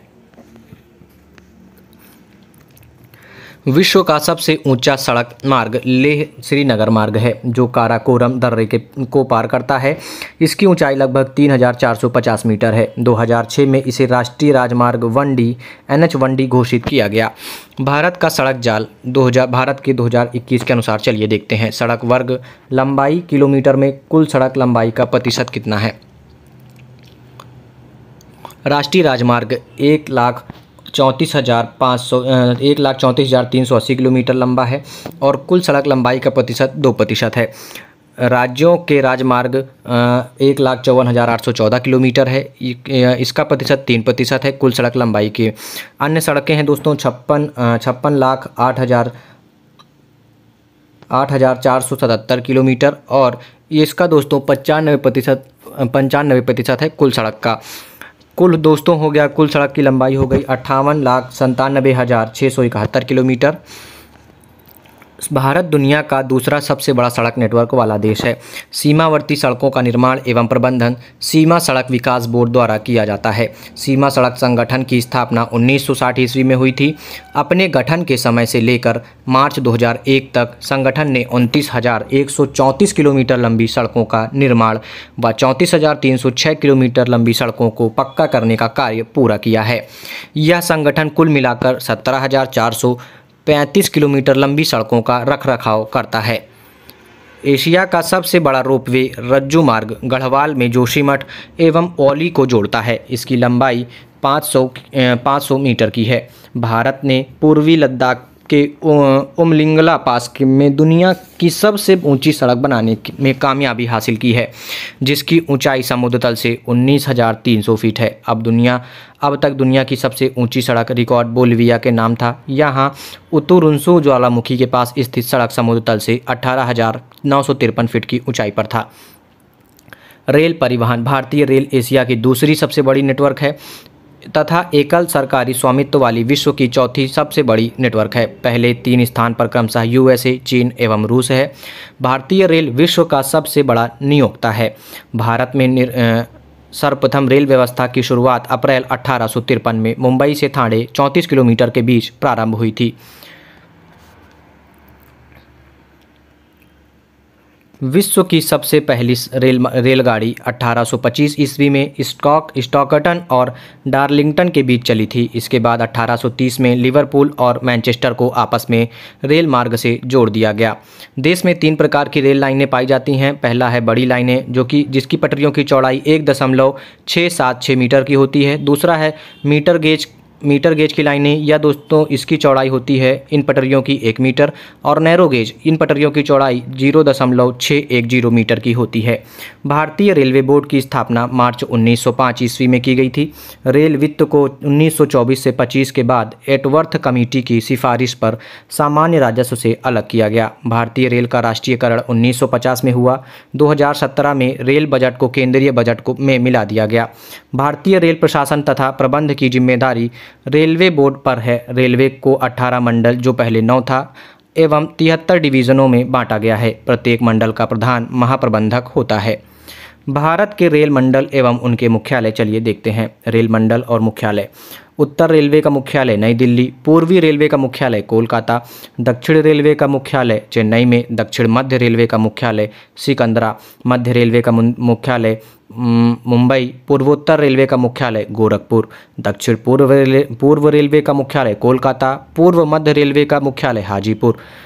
उत्तर पूर्वी सी रेलवे का मुख्यालय मालेगांव और पश्चिम मध्य रेलवे का मुख्यालय जबलपुर उत्तर मध्य रेलवे का मुख्यालय इलाहाबाद उत्तर पश्चिम रेलवे का उत्तर पश्चिम रेलवे का मुख्यालय जयपुर में है दक्षिण पश्चिम रेलवे का मुख्यालय हुबली में है और दक्षिण पूर्व मध्य रेलवे का मुख्यालय बिलासपुर पूर्व तटीय रेलवे का मुख्यालय भुवनेश्वर कोलकाता मेट्रो रेल का मुख्यालय कोलकाता में पश्चिम रेलवे का मुख्यालय चर्च गेट मुंबई में दक्षिण तट रेलवे का मुख्यालय विशाखापट्टनम में है रेल मंत्री पीयूष गोयल द्वारा 27 फरवरी 2019 को भारतीय रेल के 18वें मंडल के रूप में दक्षिण तटीय रेलवे के सृजन की घोषणा की इस वर्ष इस मंडल में दक्षिण मध्य रेलवे के तीन डिवीज़न गुटंकल गुंटूर एवं विजयवाड़ा शामिल किया गया फलस्वरूप सिकंदराबाद स्थित दक्षिण मध्य रेलवे अब केवल सिकंदराबाद हैदराबाद एवं नांदेड़ डिवीज़न की ही डिवीज़न ही बचा है देश में सबसे लंबी दूरी तय करने वाली रेलगाड़ी विवेक एक्सप्रेस है नवंबर 2011 से है जो डिब्रूगढ़ असम से कन्याकुमारी तमिलनाडु तक जाती है इस दौरान वह चार किलोमीटर दूरी तय करती है इससे पूर्व हिमसागर एक्सप्रेस जो जम्मू तवी से कन्याकुमारी 3,726 किलोमीटर तक जाती है सबसे लंबी दूरी तय करने वाली रेलगाड़ी थी नई दिल्ली के हजरत निजामुद्दीन व आगरा कैंट के बीच 5 अप्रैल 2016 से चलाई गई गतिमान एक्सप्रेस देश में सर्वाधिक गति से चलने वाली रेलगाड़ी थी अब इस टाइम ट्रेन 18 वंदे भारत एक train express Vande Bharat train हो गई है यह दोनों स्टेशनों के बीच की दूरी 100 मिनट में तय गतिमान एक्सप्रेस दो स्टेशनों दोनों स्टेशनों के बीच की दूरी 100 मिनट में तय करने के लिए 160 किलोमीटर घंटा की गति प्राप्त करती है इस रेलगाड़ी में एयर होस्टेस की तर्ज पर रेल परिचालिकाओं ट्रेन होस्टेस की तैनाती सभी कोचों में की गई है इसके पहले सबसे तेज़ रफ्तार वाली रेलगाड़ी दिल्ली भोपाल शताब्दी एक्सप्रेस थी विश्व का सबसे लंबा रेल मार्ग ट्रांस साइबेरियन रेल मार्ग है जो लेनिनग्राड से व्लाडिवॉस्टक तक नौ किलोमीटर लंबा है भारत 2021 के अनुसार भारतीय रेल मार्ग की लंबाई सड़सठ हज़ार चार सौ पंद्रह किलोमीटर है मार्च 2019 के अंत तक भारत के कुल रेल मार्ग का लगभग पचास दशमलव नौ एक प्रतिशत चौंतीस हज़ार तीन सौ उन्नीस किलोमीटर भारत का भारत भाग का विद्युतीकरण किया जा चुका है मार्च 2019 के अंत तक भारत में पहली विद्युत ट्रेन बॉम्बे वीटी एवं कुरला हार्वर के बीच 3 फरवरी 1925 को चली थी बिजली से चलने वाली प्रथम सवारी रेल सवारी गाड़ी डेक्कन क्वीन थी जो बम्बई एवं पुणे के मध्य चली थी 1 जून 1930 को कार्यरत विश्व का सबसे पुराना भाप इंजन फेरी क्वीन है एक मार्च उन्नीस को पहली राजधानी एक्सप्रेस रेलगाड़ी नई दिल्ली हावड़ा के बीच चली थी भारत और पाकिस्तान के बीच चलने वाली समझौता एक्सप्रेस लाहौर अटारी के मध्य थार एक्सप्रेस मुनाबाव बाड़मेर खोखरापारा खोखरापार के मध्य चलती है 14 अप्रैल 2008 को मैत्री एक्सप्रेस चितपुर ढाका के बीच चलाई गई थी एक अगस्त उन्नीस सौ चौरानबे से रेलगाड़ी बीमा योजना लागू की गई कोंकण रेलवे महाराष्ट्र के रोहा से प्रारंभ होकर गोवा के मडगांव तक जाती है इसकी ट्रैक की लंबाई 741 किलोमीटर है इस रेल मार्ग पर पहली बार रेल परिचालन 26 जनवरी उन्नीस ईस्वी को हुआ था इस रेल मार्ग से लाभान्वित होने वाले राज्य महाराष्ट्र गोवा कर्नाटक एवं केरल हैं एन सी आर टी द्वारा भारत लोगों भारत लोग और अर्थव्यवस्था पेज नंबर 119 के अनुसार कोंकण रेलवे की लंबाई 760 किलोमीटर है यह रेल मार्ग 146 नदियों व धाराओं तथा 2000 पुलों एवं इक्यानबे सुरंगों को पार करता है इस मार्ग पर सबसे लंबी सुरंग की लंबाई छः दशमलव पाँच किलोमीटर है इस उद्यम में कर्नाटक गोवा एवं महाराष्ट्र राज्य भागीदार हैं कोलकाता मेट्रो रेल 1972 ईस्वी में बनी यह योजना 1975 ईस्वी से अमल में आई दमदम से टॉलीगंज तक इस भूमि गत रेल मार्ग की कुल लंबाई 16.45 किलोमीटर है कोलकाता मेट्रो रेल की शुरुआत 24 अक्टूबर उन्नीस को हुई थी दिल्ली मेट्रो रेल यह परियोजना जापान व कोरिया की कंपनियों के सहयोग से बनाई गई है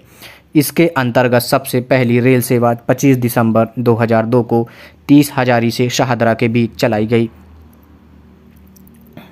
बेंगलुरु मेट्रो रेल इसकी शुरुआत 20 अक्टूबर 2011 को नम्मा दो हज़ार से नम्मा मेट्रो के नाम से शुरू की गई इसके ढांचागत सुविधाओं को का विकास जापान के सहयोग से किया गया है मुंबई मेट्रो रेल इसकी शुरुआत 8 जून 2014 ईस्वी को हुई मुंबई में मोनो रेल स्वतंत्र भारत में मोरो मोनो रेल सर्वप्रथम मुंबई में संचालित की गई जहां इसका शुभारंभ महाराष्ट्र के मुख्यमंत्री पृथ्वीराज चौहान ने एक फरवरी 2014 को किया था संपूर्ण परियोजना 19.17 किलोमीटर शुरू होने पर यह विश्व में दूसरी सर्वाधिक दूरी वाली मोनोरेल परियोजना हो जाएगी इस संबंध में जापान का 23.8 किलोमीटर लंबा ओसाका मोनोरेल कॉरिडोर सबसे लंबा है 16.9 किलोमीटर लंबे टोक्यो कॉरिडोर का वर्तमान में दूसरा स्थान है अमेरिका चीन जापान मल, म, जर्मनी मलेशिया व ऑस्ट्रेलिया के पश्चात भारत विश्व में सातवां देश हो गया है जहां सार्वजनिक परिवहन के साधन के रूप में मोनोरेल की सुविधा उपलब्ध हो गई है जयपुर चेन्नई एवं लखनऊ में भी मेट्रो रेल की सेवा शुरू हो गई है चंडीगढ़ भोपाल गुवाहाटी पुणे आदि शहरों में भी मेट्रो रेल निर्माणाधीन है कोंकण रेलवे कॉरपोरेशन के अनुसार है यह जानकारी विश्व की पहली रे मेट्रो रेल लंदन में चली थी जिसकी अन, जिसकी शुरुआत 10 मई उन्नीस को हुई यह विश्व की दूसरी सबसे लंबी मेट्रो ट्रेन है इसकी लंबाई 402 किलोमीटर है चीन की संघाई मेट्रो विश्व की सबसे लंबी मेट्रो ट्रेन है इसकी कुल लंबाई चार चौंतीस किलोमीटर है रेल इंजन निर्माण के कारखाने चितरंजन वाराणसी तथा भोपाल में स्थित है सवारी डिब्बों का निर्माण पेरम्बूर कपूरथला कोलकाता बेंगलुरु और रायबरेली में किया जाता है रेल इंजन बनाने का नया कारखाना मधेपुर मधेपुर इलेक्ट्रिकल इंजन के लिए मड़ौरा डीजल इंजन के लिए बिहार में स्थापित किया गया है पहिया बनाने का कारखाना छपरा में छपरा बिहार में एवं rail coach factory Raebareli Uttar Pradesh में स्थापित किया गया है भारत का प्रथम रेलवे विश्वविद्यालय बड़ौदा गुजरात में है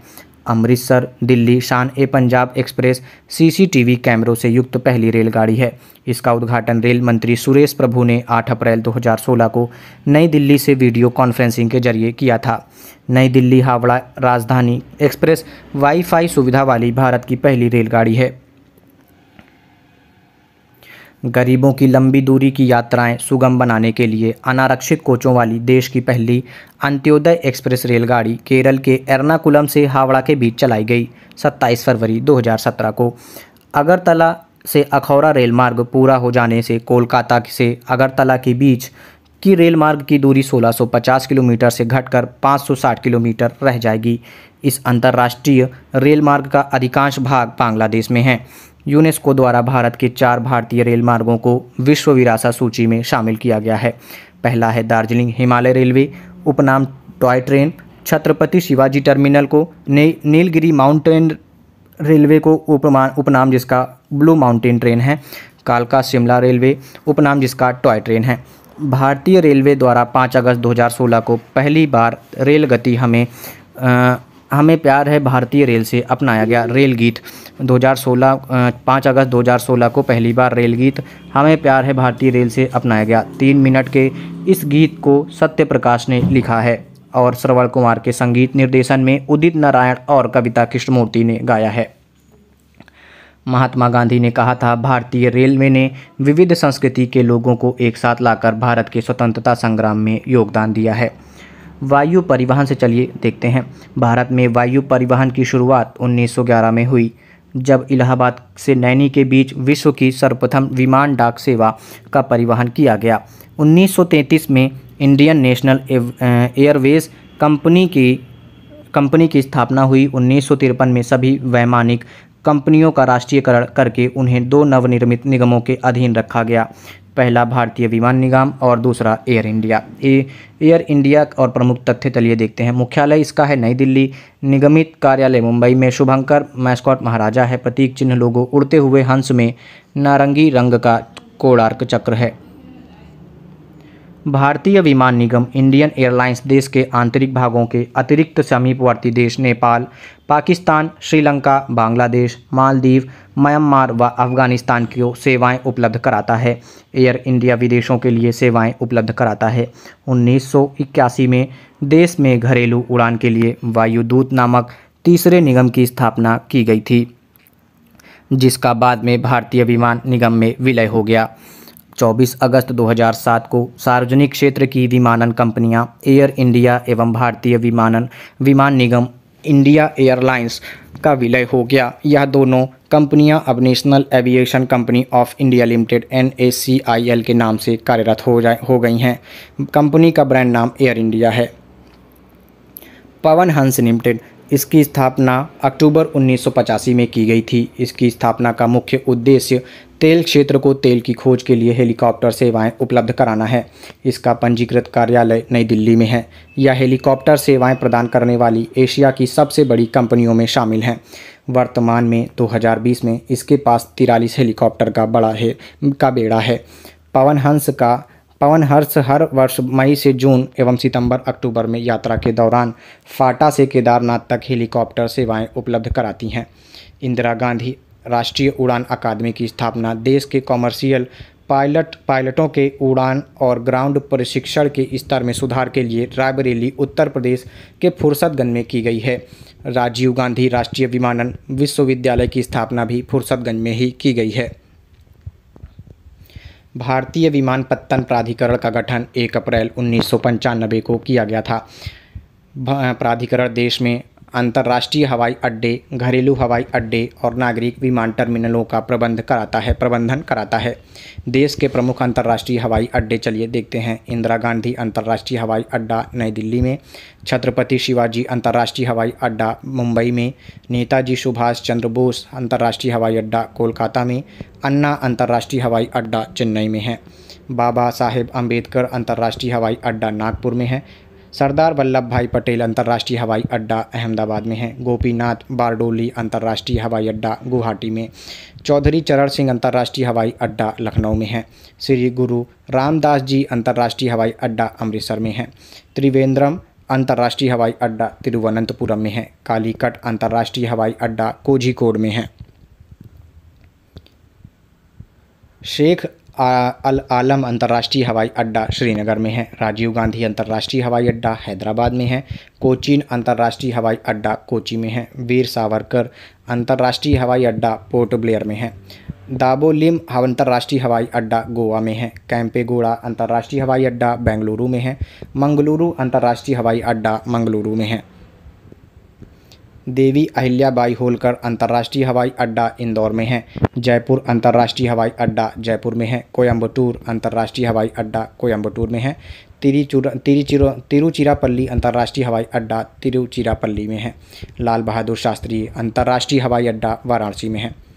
नगर विमानन मंत्रालय ने 2000 मार्च 2020 में आवश्यक वस्तुओं की आपूर्ति में तेजी को सुनिश्चित करने के लिए जीवन रेखा उड़ान सेवा शुरू की इसके तहत देश के सभी भागों तक व्यक्ति संरक्षात्मक साधन पीपीई तथा दवाएं इत्यादि की आपूर्ति की गई थी जल परिवहन केंद्रीय अंतर्देशीय जलमार्ग प्राधिकरण की स्थापना उन्नीस ईस्वी में की गई थी इसका मुख्यालय कोलकाता में है देश के जलमार्गों को दो भागों में बांटा गया है आंतरिक जलमार्ग यह परिवहन नदियों नहरों एवं झीलों के द्वारा होता है देश में जहाज़ों के जरिए होने वाली कुल माल ढुलाई के केवल एक प्रतिशत ही ढुलाई अंतर्देशीय जलमार्गों से होती है राष्ट्रीय जलमार्ग अधिनियम 2016 के तहत 111 अंतर्देशीय जलमार्गों को राष्ट्रीय जलमार्ग घोषित किया गया है हल्दिया से इलाहाबाद तक जलमार्ग को 22 अक्टूबर उन्नीस को राष्ट्रीय जलमार्ग संख्या एक घोषित किया गया सामुद्रिक जलमार्ग भारत की लगभग 7,517 किलोमीटर लंबी समुद्री रेखा है यह मुख्य भूमि के पश्चिमी और पूर्वी भागों में फैली है यह देश के व्यापार के लिए एक महत्वपूर्ण प्राकृतिक संसाधन है भारत में 12 बड़े और लगभग 200 छोटे पतन हैं देश के व्यापार की कुल मात्रा का पंचानवे प्रतिशत और मूल्य की दृष्टि से अड़सठ प्रतिशत का व्यापार समुद्री मार्ग से ही होता है राष्ट्रीय जलमार्ग एन डब्ल्यू वन इलाहाबाद से हल्दिया तक है इसकी कुल लंबाई एक हज़ार छः सौ बीस किलोमीटर है एन डब्ल्यू टू सादिया से दुबरी पट्टी तक है इसकी लंबाई आठ सौ इक्यानबे किलोमीटर है एन डब्ल्यू थ्री कोल्लम से कोट्टापुरम तक है इसकी लंबाई 205 किलोमीटर है N W N W four Kakinada से मर मरकानम तक है इसकी लंबाई एक हज़ार पंचानबे किलोमीटर है एन डब्ल्यू फाइव तलचर से धमरा तक है इसकी लंबाई छः किलोमीटर है एन डब्ल्यू सिक्स लखीपुर से भांगा तक है इसकी लंबाई 121 किलोमीटर है जो कि प्रस्तावित है देश का सबसे बड़ा बंदरगाह मुंबई मुंबई में है बड़े बंदरगाहों का नियंत्रण केंद्र सरकार करती है जबकि छोटे बंदरगाह संविधान की समवर्ती सूची में शामिल हैं जिनका प्रबंधन संबंधित राज्य सरकार करती है देश का सर्वश्रेष्ठ प्राकृतिक बंदरगाह विशाखापट्टनम है यह भारत का सबसे गहरा बंदरगाह है यह डॉल्फिन नोज चट्टान पीछे है गुजरात स्थित कांडला एक ज्वारीय बंदरगाह है या मुफ्त मुक्त व्यापार क्षेत्र वाला बंदरगाह है भारत के प्रमुख बड़े बंदरगाह देखते हैं कोलकाता बंदरगाह कोलकाता बंदरगाह पश्चिम बंगाल में है हुगली नदी पर मुंबई बंदरगाह महाराष्ट्र में अरब सागर में चेन्नई बंदरगाह तमिलनाडु में बंगाल की खाड़ी में है और कोची कोची केरल में है अरब सागर में विशाखापट्टनम आंध्र प्रदेश आंध्र प्रदेश में है बंगाल की खाड़ी में पारादीप बंदरगाह ओडिशा में है बंगाल की खाड़ी में है तूतीकोरिन बंदरगाह तमिलनाडु में है बंगाल की खाड़ी में स्थित है और मोर मुगाव बंदरगाह गोवा में है अरब सागर में स्थित है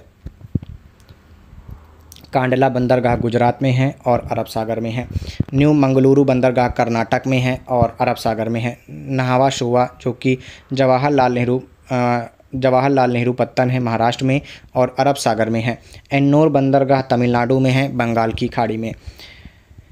नगर विमानन मंत्रालय ने मार्च 2020 में आवश्यक वस्तुओं की आपूर्ति में तेजी को सुनिश्चित करने के लिए जीवन रेखा उड़ान सेवा शुरू की इसके तहत देश के सभी भागों तक व्यक्तिक संरक्षात्मक साधन पीपीई तथा दवाओं इत्यादि की आपूर्ति की गई तूती कोरिन कांडला एवं एनोर बंदरगाह का नया नाम क्रमशः वी ओ नार है दीनदयाल कामराज है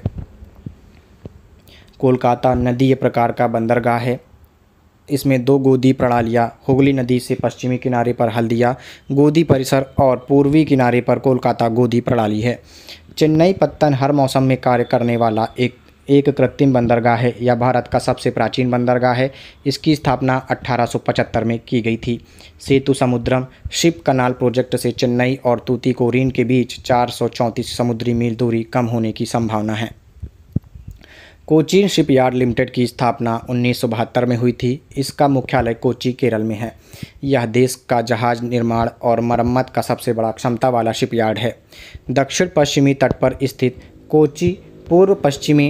समुद्री व्यापार के चौराहे पर नियंता की स्थिति में है मोरमुगाव एक प्राकृतिक पतन है जो ब्रेक वाटर और मोल से घिरा है इसमें 14.4 मीटर गहराई वाला एक ड्राफ्ट चैनल है जो बड़े पोत को अब आने जाने में मदद करता है विश्व के जहाज़ पुनरावर्तन उद्योग में भारत की हिस्सेदारी 25 से 30 प्रतिशत है जहाज पुनरावर्तन मुख्य रूप से गुजरात के आलांग सोसिया में किया जाता है अलांग सोसिया विश्व का सबसे बड़ा जहाज पुनरावर्तन कारखाना है इसे फरवरी उन्नीस में शुरू किया गया था दाहेज गुजरात देश का प्रथम बंदरगाह है जो रसायनों के निपटान हेतु स्थापित किया गया था इसलिए इसे रसायन बंदरगाह नाम दिया गया है भारत की जनगणना 2011 चलिए देखते हैं भारतीय संविधान कि धारा दो के अनुसार देश के देश की जनगणना कराने का दायित्व तो संघ सरकार को सौंपा गया है यह संविधान की सातवीं अनुसूची की क्रम संख्या उनहत्तर पर उनहत्तर पर अंकित है जनगणना संगठन केंद्रीय गृह मंत्रालय के अधीन कार्यरत है जिसका उच्चतम अधिकारी भारत का महापंजीयक एवं जनगणना आयुक्त होता है यह देश भर में जनगणना संबंधी कार्यों को निर्देशित करता है तथा जनगणना के आंकड़ों को जारी करता है वर्तमान में भारत के महापंजीय एवं जनगणना आयुक्त डॉक्टर सी चंद्रमौली हैं इनसे पूर्व इस पद पर देवेंद्र कुमार सिरकरी थे दो से दो तक थे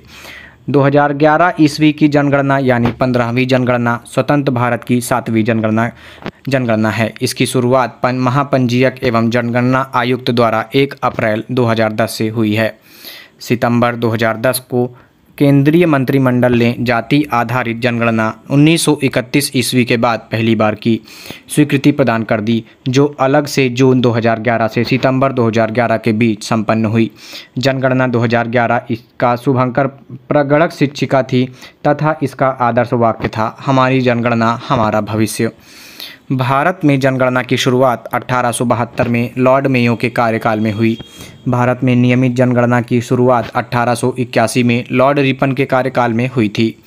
1881 में जनगणना आयुक्त डब्ल्यू डब्ल्यू प्लोडन थे वहीं स्वतंत्र भारत के पहली जनगणना उन्नीस के समय जनगणना आयुक्त आर ए गोपाला स्वामी थे जो कि उन्नीस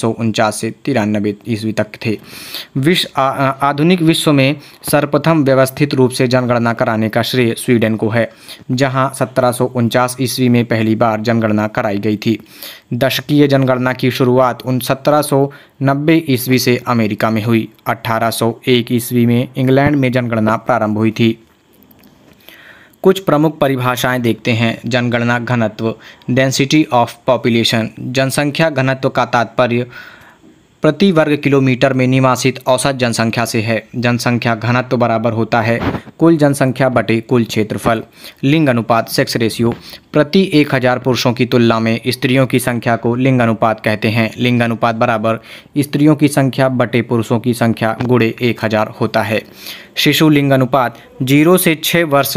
जनसंख्या में जीरो से छः आयु की समूह में प्रति एक हज़ार पुरुषों की तुलना में उसी आयु समूह के स्त्रियों की संख्या को शिशु लिंगानुपात कहा जाता है शिशु लिंगानुपात जीरो से छः वर्ष बराबर होता है बालिकाओं की संख्या बटे बालकों की संख्या गुड़े एक हज़ार होता है साक्षरता दर लिटरेसी रेट सात वर्ष और उससे अधिक आयु का जो व्यक्ति किसी भाषा को समझ सकता हो उसे लिख या पढ़ सकता हो साक्षर कहलाता है सात वर्ष और उससे अधिक आयु वाली कुल जनसंख्या में साक्षरों के प्रतिशत को जनसंख्या की साक्षरता दर कहते हैं साक्षरता दर बराबर होता है साक्षरों की संख्या बटे सात प्लस आयु वाली जनसंख्या गुड़े सौ होता है दस की वृद्धि दर डिकेडल ग्रोथ रेट या 10 वर्षों के मध्य जनसंख्या में हुई प्रतिशत वृद्धि को व्यक्त करता है 10 की वृद्धि दर बराबर वर्तमान जनसंख्या माइनस पूर्व जनसंख्या बटे पूर्व जनसंख्या गुड़े सौ होता है शिशु मृत्यु दर शिशु मृत्यु दर प्रति हजार जीवित जन्मे शिशुओं की संख्या के अनुपात में एक वर्ष से कम आयु वाले मृत शिशुओं की संख्या को दर्शाती है यानी शिशु मृत्यु दर किसी वर्ष में प्रति एक हजार जीवित जन्म पर उसी वर्ष में मृत शिशुओं की संख्या है जनगणना 2011 के तहत देश में पहली बार राष्ट्रीय जनसंख्या register NPR national population register तैयार किया जा रहा है जिसमें देश के सभी नागरिकों के कुल पंद्रह विवरण दर्ज कराने के अतिरिक्त पंद्रह वर्ष एवं इससे ऊपर की व्यय के सभी नागरिकों के बायोमीट्रिक्स आंकड़े एकत्र किए जा रहे हैं राष्ट्रीय जनगणना राष्ट्रीय जनसंख्या नीति दो के अनुसार वर्ष 2045 तक जनसंख्या स्थिरता प्राप्त करने का लक्ष्य है 2001 में 2001 की जनगणना में भारत का प्रशासनिक विभाजन पाँच जिलों में किया गया था जबकि 2011 में एक की जनगणना में यह विभाजन 640 जिलों में किया गया है स्पष्ट है कि एक दशक की अवधि एक दशक की अवधि में कुल सैंतालीस नए जिले बने हैं महाविभाजन वर्ष महाविभाजक वर्ष भारत के जनांकिकीय इतिहास में 1921 को महाविभाजक की महान विभाजक की संज्ञा दी जाती है 1911 से 21 के दौरान भारत में जनसंख्या की दशकीय वृद्धि ऋणात्मक रही है जीरो माइनस जीरो दशमलव तीन एक प्रतिशत हो गई थी फलस्वरूप इस दशक में भारत की जनसंख्या 77 लाख की कमी आई थी इसलिए 1921 को विभाजक वर्ष की संज्ञा दी गई है भारत की जनसंख्या में सर्वाधिक औसत वार्षिक घातीय वृद्धि दर 1961 से इकहत्तर के दौरान दर्ज की गई थी 2011 जनगणना से संबंधित प्रमुख आंकड़े चलिए देखते हैं 2011 की जनगणना के अनुसार भारत की कुल जनसंख्या 121 करोड़ आठ लाख चौवन हज़ार नौ सौ सतहत्तर है जिसमें जिसमें बासठ करोड़ बत्तीस लाख सत्तर हज़ार दो सौ अट्ठावन पुरुष एवं अट्ठावन करोड़ सत पचहत्तर लाख चौरासी हज़ार सात सौ उन्नीस अड़तालीस दशमलव पाँच तीन प्रतिशत महिलाएँ हैं 2011 की 2011 जनगणना के अनुसार भारत की कुल जनसंख्या विश्व की जन कुल जनसंख्या का सत्रह दशमलव पाँच प्रतिशत है जनसंख्या में वार्षिक वृद्धि दर एक दशमलव नौ सात प्रतिशत से घटकर एक दशमलव छः चार हो गई है जबकि दशकीय वृद्धि दर इक्कीस दशमलव पाँच चार प्रतिशत से घटकर सत्रह दशमलव सात प्रतिशत हो गई है नागालैंड की दस की वृद्धि दर ऋणात्मक हो रही है जीरो माइनस जीरो दशमलव छः प्रतिशत रही है जनसंख्या घनत्व तीन सौ पच्चीस व्यक्ति प्रति वर्ग किलोमीटर से बढ़कर तीन सौ बयासी व्यक्ति प्रति वर्ग किलोमीटर हो गया है लिंग अनुपात नौ सौ तैंतीस से बढ़कर नौ सौ तिरालीस हो गया शिशु लिंग अनुपात जीरो से छः वर्ष नौ सौ से घटकर नौ सौ अट्ठारह हो गया जनसंख्या में साक्षर लोगों की संख्या चौरा चौंसठ दशमलव आठ चार प्रतिशत से बढ़कर तिहत्तर प्रतिशत हो गया पुरुष साक्षरता पचहत्तर दशमलव दो छः प्रतिशत से बढ़कर अस्सी दशमलव नौ प्रतिशत एवं महिला साक्षरता तिरपन दशमलव छः सात प्रतिशत से बढ़कर चौंसठ दशमलव छः प्रतिशत हो गई है ग्रामीण क्षेत्र में न्यूनतम साक्षरता दर वाला राज्य आंध्र प्रदेश है साठ दशमलव चार प्रतिशत शहरी क्षेत्र में न्यूनतम साक्षरता वाला राज्य उत्तर प्रदेश है पचहत्तर दशमलव एक प्रतिशत है ग्रामीण क्षेत्र में सर्वाधिक साक्षरता वाला राज्य केरल है देश में अब तक पूर्ण साक्षर घोषित किए गए मा, एकमात्र राज्य केरल है देश जनगणना 2011 के अनुसार देश में अनुसूचित जाति एससी के व्यक्तियों की कुल संख्या बीस दशमलव एक चार करोड़ है जो देश की कुल जनसंख्या का सोलह दशमलव छः प्रतिशत है 2001 में यह यह सोलह दशमलव दो प्रतिशत थी 2011 में अनुसूचित जातियों में लिंग अनुपात 945 है 2001 से 11 के दौरान देश में अनुसूचित जाति की दस की वृद्धि दर 20.8 प्रतिशत रही है 2011 की जनगणना के अनुसार देश में अनुसूचित जनजाति के व्यक्तियों की कुल संख्या दस दशमलव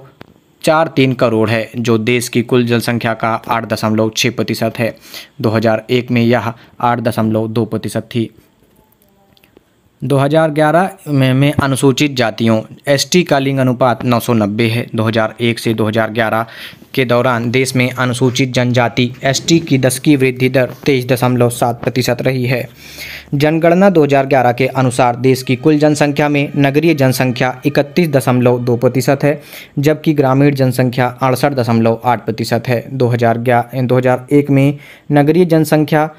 सत्ताईस दशमलव आठ प्रतिशत तथा ग्रामीण जनसंख्या बहत्तर दशमलव दो प्रतिशत थी राज्यों में सिक्किम की जनसंख्या सबसे कम है इसकी जनसंख्या से कम जनसंख्या वाले चार केंद्र शासित प्रदेश हैं अंडमान एवं निकोबार दादर एवं नागर हवेली दमन और द्वीप एवं लक्षद्वीप हैं सिक्किम है फिर अंडमान निकोबार फिर दादर नागर हवेली और दमन द्वीप और फिर उसके बाद लक्षद्वीप है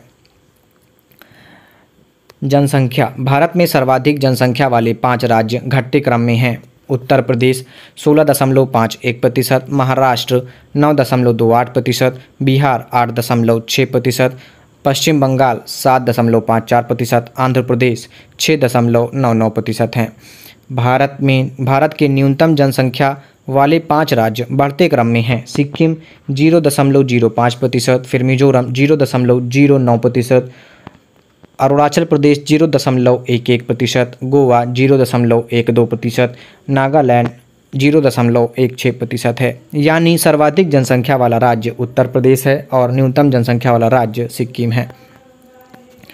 दस की वृद्धि सर्वाधिक दस की वृद्धि वाले पांच राज्य घटते क्रम में हैं मेघालय सत्ताईस दशमलव नौ प्रतिशत अरुणाचल प्रदेश छब्बीस प्रतिशत बिहार पच्चीस दशमलव चार प्रतिशत जम्मू कश्मीर तेईस दशमलव छः प्रतिशत मिजोरम तेईस दशमलव पाँच प्रतिशत न्यूनतम दस की वृद्धि वाले पाँच राज्य बढ़ते क्रम में हैं नागालैंड माइनस जीरो दशमलव छः प्रतिशत केरल चार दशमलव नौ प्रतिशत गोवा आठ दशमलव दो प्रतिशत आंध्र प्रदेश ग्यारह प्रतिशत सिक्किम बारह दशमलव नौ प्रतिशत जनसंख्या घनत्व देखते हैं सर्वाधिक जनसंख्या घनत्व वाले पाँच राज्य घटते क्रम में हैं बिहार है ग्यारह सौ छः पश्चिम बंगाल पश्चिम बंगाल में एक हज़ार अट्ठाईस और केरल में आठ सौ आठ सौ साठ उत्तर प्रदेश में आठ सौ उनतीस हरियाणा में पाँच सौ तिहत्तर है न्यूनतम जनसंख्या घनत्व वाले पाँच राज्य बढ़ते क्रम में हैं अरुणाचल प्रदेश सत्रह मिजोरम मिजोरम बावन सिक्किम छियासी मणिपुर एक सौ पंद्रह और नागालैंड एक सौ उन्नीस है लिंग अनुपात सर्वाधिक लिंग अनुपात वाले पांच राज्य घटते क्रम में हैं केरल एक हज़ार चौरासी का है तमिलनाडु में नौ सौ छियानबे का है आंध्र प्रदेश में नौ सौ तिरानबे का मणिपुर में नौ सौ बानबे छत्तीसगढ़ में नौ सौ इक्यानबे का है न्यूनतम लिंग अनुपात वाले पांच राज्य बढ़ते क्रम में हैं हरियाणा आठ है जम्मू कश्मीर में आठ है सिक्किम में 890 है पंजाब में आठ उत्तर प्रदेश में 912 है सर्वाधिक शिशु लिंगानुपात वाले पांच राज्य घटते क्रम में हैं अरुणाचल प्रदेश नौ है मिजोरम में 960 मेघालय 970 है छत्तीसगढ़ में नौ केरल में नौ है न्यूनतम शिशु लिंग अनुपात वाले पांच राज्य बढ़ते क्रम में हैं हरियाणा 834 पंजाब 846 जम्मू कश्मीर आठ राजस्थान आठ गुजरात आठ है साक्षरता सर्वाधिक साक्षरता प्रतिशत वाले पांच राज्य घटते क्रम में हैं केरल चौरानबे प्रतिशत मिजोरम इक्यानबे दशमलव तीन प्रतिशत गोवा अट्ठासी दशमलव सात प्रतिशत त्रिपुरा सत्तासी दशमलव दो प्रतिशत हिमाचल प्रदेश बयासी दशमलव आठ प्रतिशत है न्यूनतम साक्षरता प्रतिशत वाले पांच राज्य बढ़ते क्रम में हैं बिहार इकसठ दशमलव आठ प्रतिशत अरुणाचल प्रदेश पैंसठ दशमलव चार प्रतिशत राजस्थान छाछठ दशमलव एक प्रतिशत झारखंड छाछठ दशमलव चार प्रतिशत आंध्र प्रदेश तेलंगाना सहित सड़सठ प्रतिशत का है सर्वाधिक पुरुष साक्षरता प्रतिशत वाले पाँच राज्य घटते क्रम में हैं केरल छियानबे दशमलव एक प्रतिशत मिजोरम तिरानबे दशमलव तीन प्रतिशत गोवा बानबे दशमलव छः प्रतिशत त्रिपुरा इक्यानबे दशमलव पाँच प्रतिशत हिमाचल प्रदेश उन्यासी दशमलव पाँच प्रतिशत न्यूनतम पुरुष साक्षरता प्रतिशत वाले पाँच राज्य हैं भारतीय क्रम में बिहार इकहत्तर दशमलव दो प्रतिशत अरुणाचल प्रदेश बहत्तर दशमलव दो प्रतिशत आंध्र प्रदेश चौहत्तर दशमलव नौ प्रतिशत मेघालय छिहत्तर प्रतिशत झारखंड छिहत्तर दशमलव आठ प्रतिशत है सर्वाधिक महिला साक्षरता प्रतिशत वाले पांच राज्य घटते क्रम में हैं केरल बानबे दशमलव एक प्रतिशत मिजोरम नवासी दशमलव तीन प्रतिशत गोवा चौरासी दशमलव सात प्रतिशत त्रिपुरा बयासी दशमलव सात प्रतिशत नागालैंड छिहत्तर दशमलव एक प्रतिशत का है न्यूनतम महिला साक्षरता प्रतिशत वाले पांच राज्य भर्ती क्रम में हैं बिहार इक्यावन दशमलव पाँच प्रतिशत राजस्थान बावन दशमलव एक प्रतिशत झारखंड पचपन दशमलव चार प्रतिशत जम्मू कश्मीर छप्पन दशमलव चार प्रतिशत उत्तर प्रदेश सत्तावन दशमलव दो प्रतिशत है ग्रामीण जनसंख्या या शहरी जनसंख्या चलिए देखते हैं सर्वाधिक ग्रामीण जनसंख्या प्रतिशत वाले पांच राज्य घटते क्रम में हैं हिमाचल प्रदेश नब्बे प्रतिशत बिहार अट्ठासी दशमलव सात प्रतिशत असम पचासी दशमलव नौ प्रतिशत ओडिशा तिरासी दशमलव तीन प्रतिशत मेघालय उन्यासी दशमलव नौ प्रतिशत का है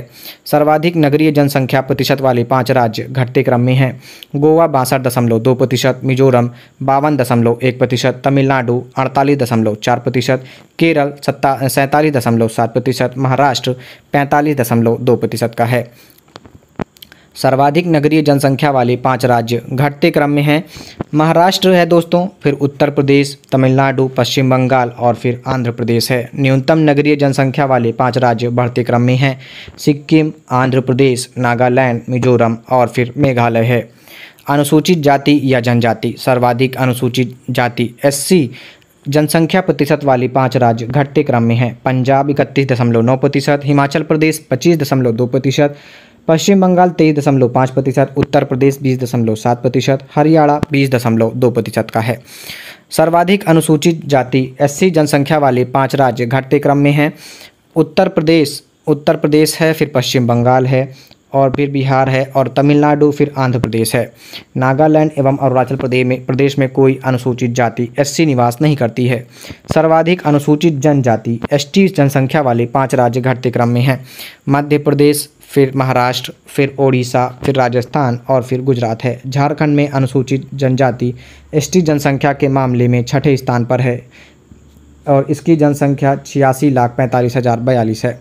सर्वाधिक अनुसूचित जनजाति एसटी जनसंख्या प्रतिशत वाले पाँच राज्य घटते क्रम में हैं मिजोरम चौरानबे दशमलव चार प्रतिशत नागालैंड छियासी दशमलव पाँच प्रतिशत मेघालय छियासी दशमलव एक प्रतिशत अरुणाचल प्रदेश अड़सठ दशमलव आठ प्रतिशत मणिपुर पैंतीस दशमलव एक प्रतिशत एस जनसंख्या प्रतिशत के मामले में झारखंड छब्बीस दशमलव दो प्रतिशत ग्रहवें स्थान पर है हरियाणा और पंजाब में कोई अनुसूचित जनजाति एसटी निवास नहीं करती है जनगणना 2011 केंद्र शासित प्रदेश सर्वाधिक जनसंख्या वाला केंद्र शासित प्रदेश दिल्ली है दूसरा एवं तीसरा स्थान क्रमशः पुडुचेरी और चंडीगढ़ को है न्यूनतम जनसंख्या वाला केंद्र शासित प्रदेश लक्षद्वीप है सर्वाधिक दशकीय वृद्धि वाले केंद्र शासित प्रदेश दादरा एवं नागर हवेली हैं पचपन दशमलव नौ प्रतिशत है दूसरा एवं तीसरा स्थान क्रमशः दमन द्वीप दमन व द्वीप का है तिरपन दशमलव आठ प्रतिशत और तीसरा है दोस्तों पुडुचेरी का अट्ठाईस दशमलव एक प्रतिशत व न्यूनतम दशकीय वृद्धि दर वाले केंद्र शासित प्रदेश लक्षद्वीप हैं तीन छः दशमलव तीन प्रतिशत है सर्वाधिक जन जनघनत्व वाला केंद्र शासित प्रदेश दिल्ली है ग्यारह हज़ार तीन सौ बीस है व न्यूनतम जनघनत्व वाला केंद्र शासित प्रदेश अंडमान निकोबार द्वीप समूह है छियालीस है जनघनत्व में दूसरा स्थान चंडीगढ़ का है नौ हज़ार दो सौ अट्ठावन का है सर्वाधिक लिंगानुपात वाले केंद्र शासित प्रदेश पुडुचेरी एक का है न्यूनतम लिंगानुपात वाले केंद्र शासित प्रदेश दमनदीप 618 है लिंगानुपात में दूसरा स्थान लक्षद्वीप नौ का है सर्वाधिक शिशु लिंगानुपात वाला केंद्र शासित प्रदेश अंडमान एवं निकोबार द्वीप समूह नौ है न्यूनतम शिशु लिंगानुपात वाला केंद्र शासित प्रदेश दिल्ली है आठ दशमलव सॉरी आठ सौ इकहत्तर है शिशु लिंग अनुपात में दूसरा स्थान पुडुचेरी नौ सौ सड़सठ है सर्वाधिक सर्वाधिक साक्षरता प्रतिशत वाला केंद्र शासित प्रदेश लक्षद्वीप इक्यानबे दशमलव आठ प्रतिशत है न्यूनतम साक्षरता प्रतिशत वाला केंद्र शासित प्रदेश दादरा एवं नागर हवेली छिहत्तर दशमलव दो प्रतिशत है साक्षरता प्रतिशत में दूसरा स्थान दमन एवं द्वीप सत्तासी दशमलव एक प्रतिशत है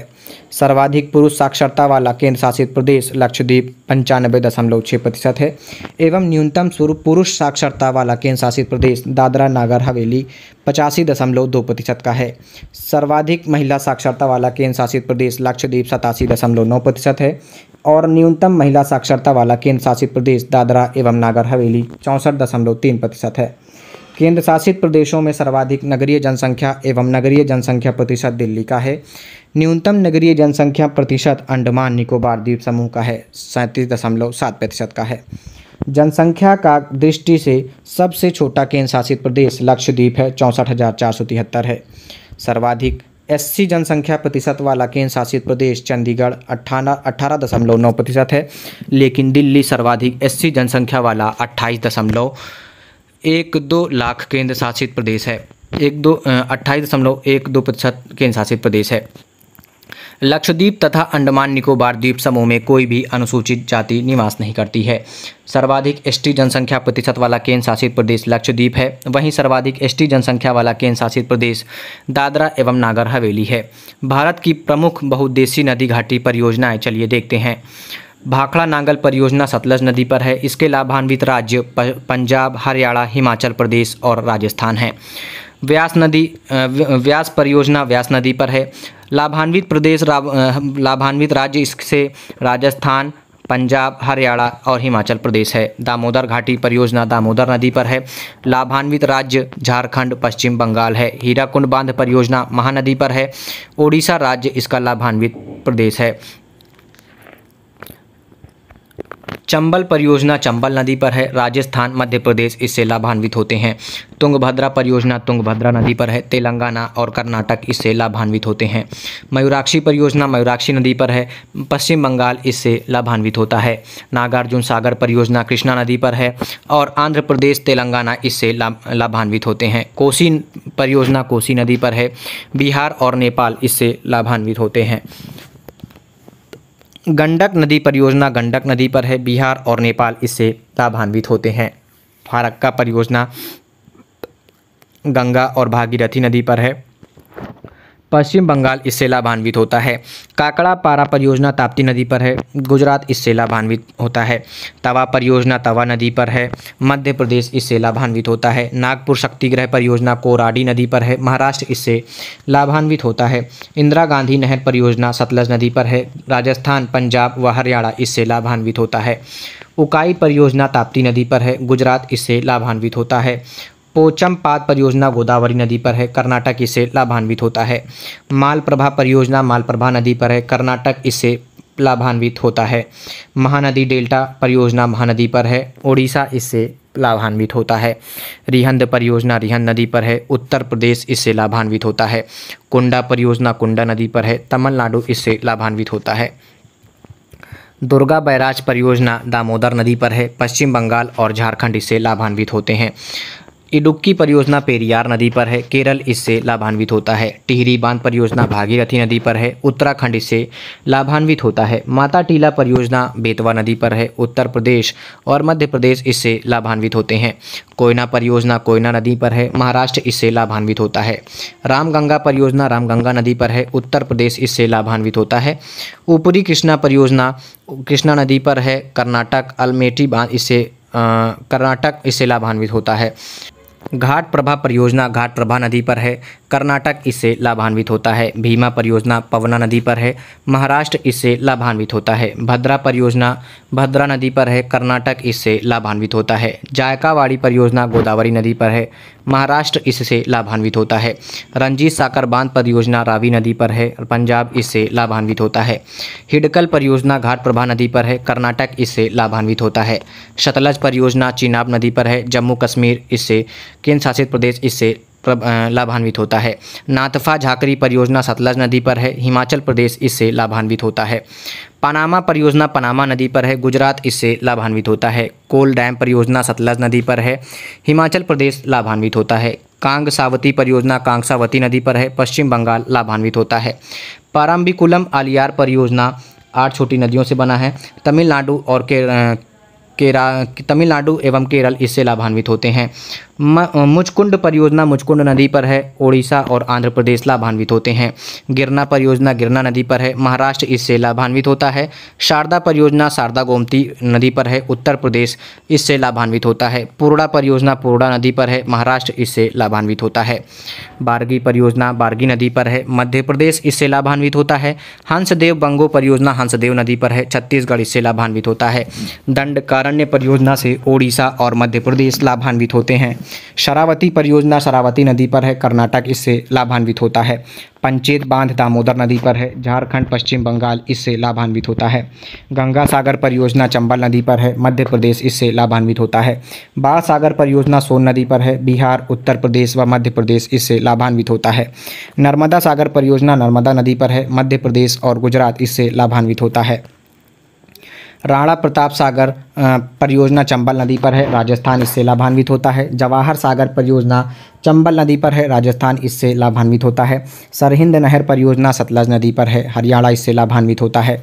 तुलबुल परियोजना झेलम नदी पर है जम्मू कश्मीर इससे लाभान्वित होता है दुलहस्ती परियोजना चिनाब नदी पर है जम्मू कश्मीर लाभान्वित होता है तिलैया परियोजना बराकर नदी पर है झारखंड इससे लाभान्वित होता है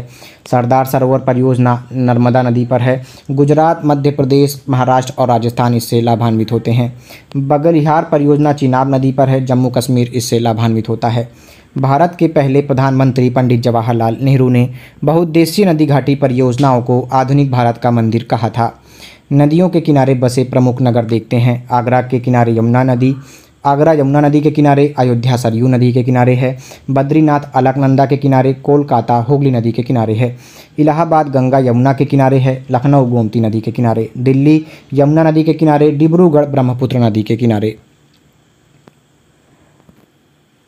फिरोजपुर सतलज नदी के किनारे गुवाहाटी ब्रह्मपुत्र नदी के किनारे हरिद्वार गंगा नदी के किनारे जबलपुर नर्मदा नदी के किनारे कानपुर गंगा नदी के किनारे कोटा चंबल नदी के किनारे कुरनूल तुंगभद्रा नदी के किनारे कटक महानदी के किनारे है सुकोवा घाट ब्रह्मा ब्रह्मपुत्र नदी के किनारे और नासिक गोदावरी नदी के किनारे है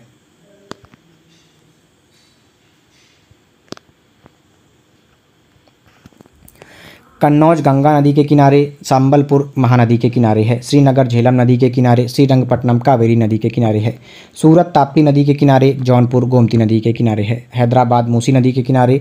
ओरछा बेतवा नदी के किनारे है मथुरा यमुना नदी के किनारे है उज्जैन छिपरा नदी के किनारे है जमशेदपुर स्वर्ण रेखा नदी के किनारे वाराणसी गंगा नदी के किनारे है अहमदाबाद साबर नदी साबरमती नदी के किनारे और लुधियाना सतलज नदी के किनारे है पंढरपुर भीमा नदी के किनारे विजयवाड़ा कृष्णा नदी के किनारे है बरेली रामगंगा नदी के किनारे तिरुचुरापल्ली कावेरी नदी के किनारे है जगदलपुर इंद्रावती नदी के किनारे बैतूल ताप्ती नदी के किनारे गोरखपुर राप्ती नदी के किनारे स्थित है भारत के पर्वतीय नगर देखते हैं गुलमर्ग जम्मू कश्मीर में है जिसकी ऊंचाई दो मीटर की है ऊटी तमिलनाडु में ऊंचाई इसकी दो मीटर शिमला दोस्तों हिमाचल प्रदेश में 2,206 मीटर ऊंचाई है इसकी पहलगांव दोस्तों जम्मू कश्मीर में इसकी ऊंचाई 200 सौ मीटर की दार्जिलिंग पश्चिम बंगाल में 2,134 मीटर इसकी ऊंचाई है कोडाई कनाल तमिलनाडु में 2,133 मीटर इसकी ऊंचाई है लैंसडाउन उत्तराखंड में 2,118 मीटर इसकी ऊंचाई है डलहौजी हिमाचल प्रदेश में 2035 मीटर इसकी ऊंचाई है मसूरी उत्तराखंड में 2005 मीटर इसकी ऊंचाई है कोटगिरी तमिलनाडु में एक हज़ार नौ सौ इक्यासी मीटर इसकी ऊंचाई है मुक्तेश्वर उत्तराखंड में है एक हज़ार नौ सौ चौहत्तर मीटर इसकी ऊंचाई है नैनीताल उत्तराखंड में एक हज़ार नौ सौ अड़तीस मीटर इसकी ऊंचाई है कसौली हिमाचल प्रदेश में है एक हज़ार आठ सौ नब्बे मीटर इसकी ऊंचाई है कुन्नूर तमिलनाडु में है एक हज़ार आठ सौ उनसठ मीटर इसकी ऊंचाई है गंगटोक सिक्किम में है इसकी ऊंचाई एक हज़ार आठ सौ पचास मीटर है मनाली हिमाचल प्रदेश में ऊँचाई इसकी एक हज़ार आठ सौ उनतीस मीटर रानीखेत उत्तराखंड में ऊँचाई इसकी एक हज़ार आठ सौ उनतीस मीटर मीटर है रांची झारखंड में इसकी ऊंचाई 670 मीटर मिरिक पश्चिम बंगाल में ऊंचाई इसकी 1800 मीटर है श्रीनगर जम्मू कश्मीर में ऊंचाई इसकी सत्रह मीटर कोटिलम कोटलिम तमिलनाडु में है ऊंचाई इसकी एक मीटर है भुवाली उत्तराखंड में इसकी ऊंचाई एक मीटर है अल्मोड़ा अल्मोड़ा उत्तराखंड में है ऊंचाई इसकी 1646 मीटर है शिलोंग मेघालय में ऊंचाई इसकी एक मीटर है सोलन हिमाचल प्रदेश में ऊंचाई इसकी एक मीटर है नंदी हिल्स कर्नाटक में है ऊंचाई इसकी एक मीटर है येरगाड तमिलनाडु में ऊंचाई इसकी एक मीटर है महाबलेश्वर महाराष्ट्र में ऊंचाई इसकी एक मीटर है कलिम्पोंग पश्चिम बंगाल में ऊंचाई इसकी 1250 मीटर है धर्मशाला हिमाचल प्रदेश में ऊंचाई इसकी 1250 मीटर की है कुल्लू घाटी हिमाचल प्रदेश में ऊंचाई इसकी 1250 मीटर की है माउंट आबू राजस्थान में ऊंचाई इसकी 1219 मीटर पंचगमी पंचगनी महाराष्ट्र में 1219 मीटर ऊंचाई है मन्नार केरल में ऊंचाई इसकी ग्यारह मीटर पंचमढ़ी मध्य प्रदेश में ऊंचाई इसकी एक मीटर सतपुरा गुजरात में ऊंचाई इसकी है नौ मीटर केमानगुंडी कर्नाटक में ऊंचाई इसकी 914 मीटर पेरियार केरल में ऊंचाई इसकी 914 मीटर है मंडी हिमाचल प्रदेश में ऊंचाई इसकी 904 मीटर लोनावाला महाराष्ट्र में ऊंचाई इसकी 620 मीटर खांडला महाराष्ट्र में ऊंचाई इसकी 620 मीटर ही है भारत के प्रमुख वन्य जीव अभ्यारण्य या राष्ट्रीय उद्यान चलिए देखते हैं भारत का प्रथम राष्ट्रीय उद्यान जिम कॉर्बेट राष्ट्रीय पार्क उत्तराखंड है इसका पुराना नाम हेली नेशनल पार्क था जिसकी स्थापना 1935 में की गई थी देश में सर्वाधिक राष्ट्रीय उद्यान 11 मध्य प्रदेश में है इसे टाइगर स्टेट भी कहते हैं भारत का सबसे बड़ा राष्ट्रीय उद्यान जम्मू कश्मीर के लेह जनपद में है इसका नाम हिमिस है और यह 3,550 वर्ग किलोमीटर में विस्तृत है भारत का सबसे बड़ा बाघ अभ्यारण्य नागार्जुन सागर आंध्र प्रदेश है इसका क्षेत्रफल तीन वर्ग किलोमीटर का है भारतीय पक्षी विज्ञानी और प्रकृतिवादी सलीम अली को बर्डमैन ऑफ इंडिया कहा जाता है सलीम अली राष्ट्रीय पक्षी उद्यान जम्मू कश्मीर के श्रीनगर में है जिम कॉर्बेट पार्क से रामगंगा नदी बहती है देश में सर्वाधिक चौरानबे वन्य जीव अभ्यारण अंडमान निकोबार द्वीप समूह में है डाची गाम सेंचुरी में कश्मीरी महामृग स्टैक पाया जाता है लाली वन्य जीव अभ्यारण पासीघाट अरुणाचल प्रदेश में ब्रह्मपुत्र नदी के दाएं किनारे पर अवस्थित है यहाँ का पोनंग नृत्य प्रसिद्ध है जो जनजातियों द्वारा किया जाता है भीतर कड़िका नेशनल पार्क ओडिशा में है यहाँ मैंग्रोव वनों की कई प्रजातियाँ पाई जाती हैं यहाँ कछुए की चारों प्रजातियाँ ओलिव रिडले कछुआ ग्रीन सी कछुआ हॉक्सविल कछुआ एवं लेदर बैग कछुआ पाई जाती है यहाँ विश्व का सबसे बड़ा ओलिव रिडले कछुआ का प्रजनन स्थल है राजस्थान के भरतपुर जिले में स्थित केवला देवघाना नेशनल पार्क को पक्षियों का स्वर्ग कहा जाता है यहाँ साइबेरियन सारस प्रजनन हेतु प्रवास करते हैं यहाँ से दो नदियाँ बाणगंगा एवं गंभीरी प्रवाहित होती हैं सुल्तानपुर राष्ट्रीय उद्यान हरियाणा के गुरुग्राम जिले में स्थित है विश्व का एकमात्र तैरता हुआ राष्ट्रीय पार्क कीबुल लामजाओ राष्ट्रीय पार्क मणिपुर राज्य में राज्य के इम्फाल एवं विष्णुपुर जिले में स्थित है इसे 1977 में राष्ट्रीय पार्क घोषित किया गया था इस पार्क का प्रमुख जीव अति संकटग्रस्त संगाई मणिपुरी हिरण है रामसर अभिसमय के तहत इसे अंतर्राष्ट्रीय महत्व का आद आद्र स्थल घोषित किया गया है चलिए भारत के पक्षी विहार देख लेते हैं और उनकी स्थिति भी देखते हैं और स्थापना वर्ष भी देखते हैं नवाबगंज पक्षी विहार उन्नाव में है इसकी स्थापना उन्नीस में हुई थी समाजपुर पक्षी विहार रायबरेली में है इसकी स्थापना उन्नीस में हुई थी लाख बख्श लाख बहासी पक्षी विहार कन्नौज में है इसकी स्थापना उन्नीस में हुई थी सांडी पक्षी विहार हरदोई में है इसकी स्थापना उन्नीस में हुई थी बखीरा पक्षी विहार संत कबीर नगर में है इसकी स्थापना स्थापना 1990 में हुई थी ओखला पक्षी विहार गाजियाबाद एवं गौतम बुद्ध नगर में है इसकी स्थापना 1990 में हुई थी समान पक्षी विहार मैनपुरी में है इसकी स्थापना 1990 में हुई थी पार्वती अर्गा पक्षी विहार गोंडा में है इसकी स्थापना 1990 में हुई थी विजय सागर पक्षी विहार हमीरपुर एवं महोबा में है इसकी स्थापना उन्नीस में हुई थी पटना पक्षी विहार एटा में है इसकी स्थापना 1990 में हुई थी सुरहा ताल पक्षी विहार लोकनायक पक्षी विहार के नाम से जानते हैं जिसे बलिया में स्थित है उन्नीस में इसकी स्थापना हुई थी सुर सरोवर पक्षी विहार आगरा में है और उन्नीस में इसकी स्थापना हुई थी भीमराव अंबेडकर पक्षी विहार बेती बेतीताल पक्षी विहार प्रतापगढ़ में है इसकी स्थापना 2003 में हुई थी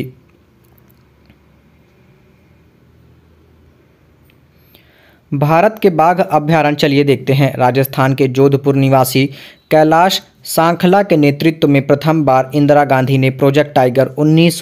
नामक कार्यक्रम को प्रारंभ किया सांखला को tiger man of the India कहा जाता है से क्षेत्रफल की दृष्टि से भारत का सबसे बड़ा भाग रिजर्व नागार्जुन सागर श्री सलेम आंध्र प्रदेश है क्षेत्रफल की दृष्टि से सबसे छोटा बाघ रिजर्व पेंच है महाराष्ट्र का विश्व का सर्वाधिक ऊंचाई पर अवस्थित बाघ रिजर्व नामदफा अरुणाचल प्रदेश में है देश के 18 राज्यों में बाघ पाए जाते हैं रेड डेटा बुक चलिए देखते हैं सर्वप्रथम उन्नीस ईस्वी में सर पीटर स्कॉट ने अंतर्राष्ट्रीय रेड डेटा बुक आईआरबीडी की स्थापना की थी की कल्पना की थी रेड डेटा बुल्क में ऐसे पशु पक्षियों और पौधों के बारे में जानकारी दी गई है जो विलुप्त या संकटग्रस्त होने के कगार पर हैं इनका संकलन ज्वाइंट नेचर कंजर्वेशन कमेटी द्वारा किया जाता है विश्व में प्रथम प्रकाशन 1964 में किया गया था इसका भारत के बाघ अभ्यारण चलिए देखते हैं असम में कुल चार चार बाघ अभ्यारण हैं मानस जिसकी घोषणा 1973 में चौहत्तर उन्नीस से चौहत्तर में हुई नेमेरी नेमेरी बाघ रिजर्व की घोषणा 1999 से 2000 में हुई काजीरंगा की बाघ रिजर्व की घोषणा 2006 में हुई औरंग औरंग बाग रिजर्व की घोषणा 2016 में हुई थी ये सारे असम राज्य में हैं अरुणाचल प्रदेश में चलिए देखते हैं अरुणाचल प्रदेश में नाव दफ़ा बाघ रिजर्व नाम दफ़ा बाग रिजर्व है 1982 से तिरासी में इसका घोषणा हुआ था 1982 से तिरासी में घोषणा की गई थी इसकी और पाकुई बाग रिजर्व की घोषणा 1999 से 2000 में किया गया था कमलांग बाग रिजर्व की घोषणा 2016 में किया गया था आंध्र प्रदेश आंध्र प्रदेश में एक ही है नागार्जुन श्री सेलेम बाघ रिजर्व इसकी घोषणा 1982 से तिरासी में की गई थी बिहार में एक है वाल्मीकि वाल्मीकि बाघ रिजर्व इसकी घोषणा उन्नीस से नब्बे में की गई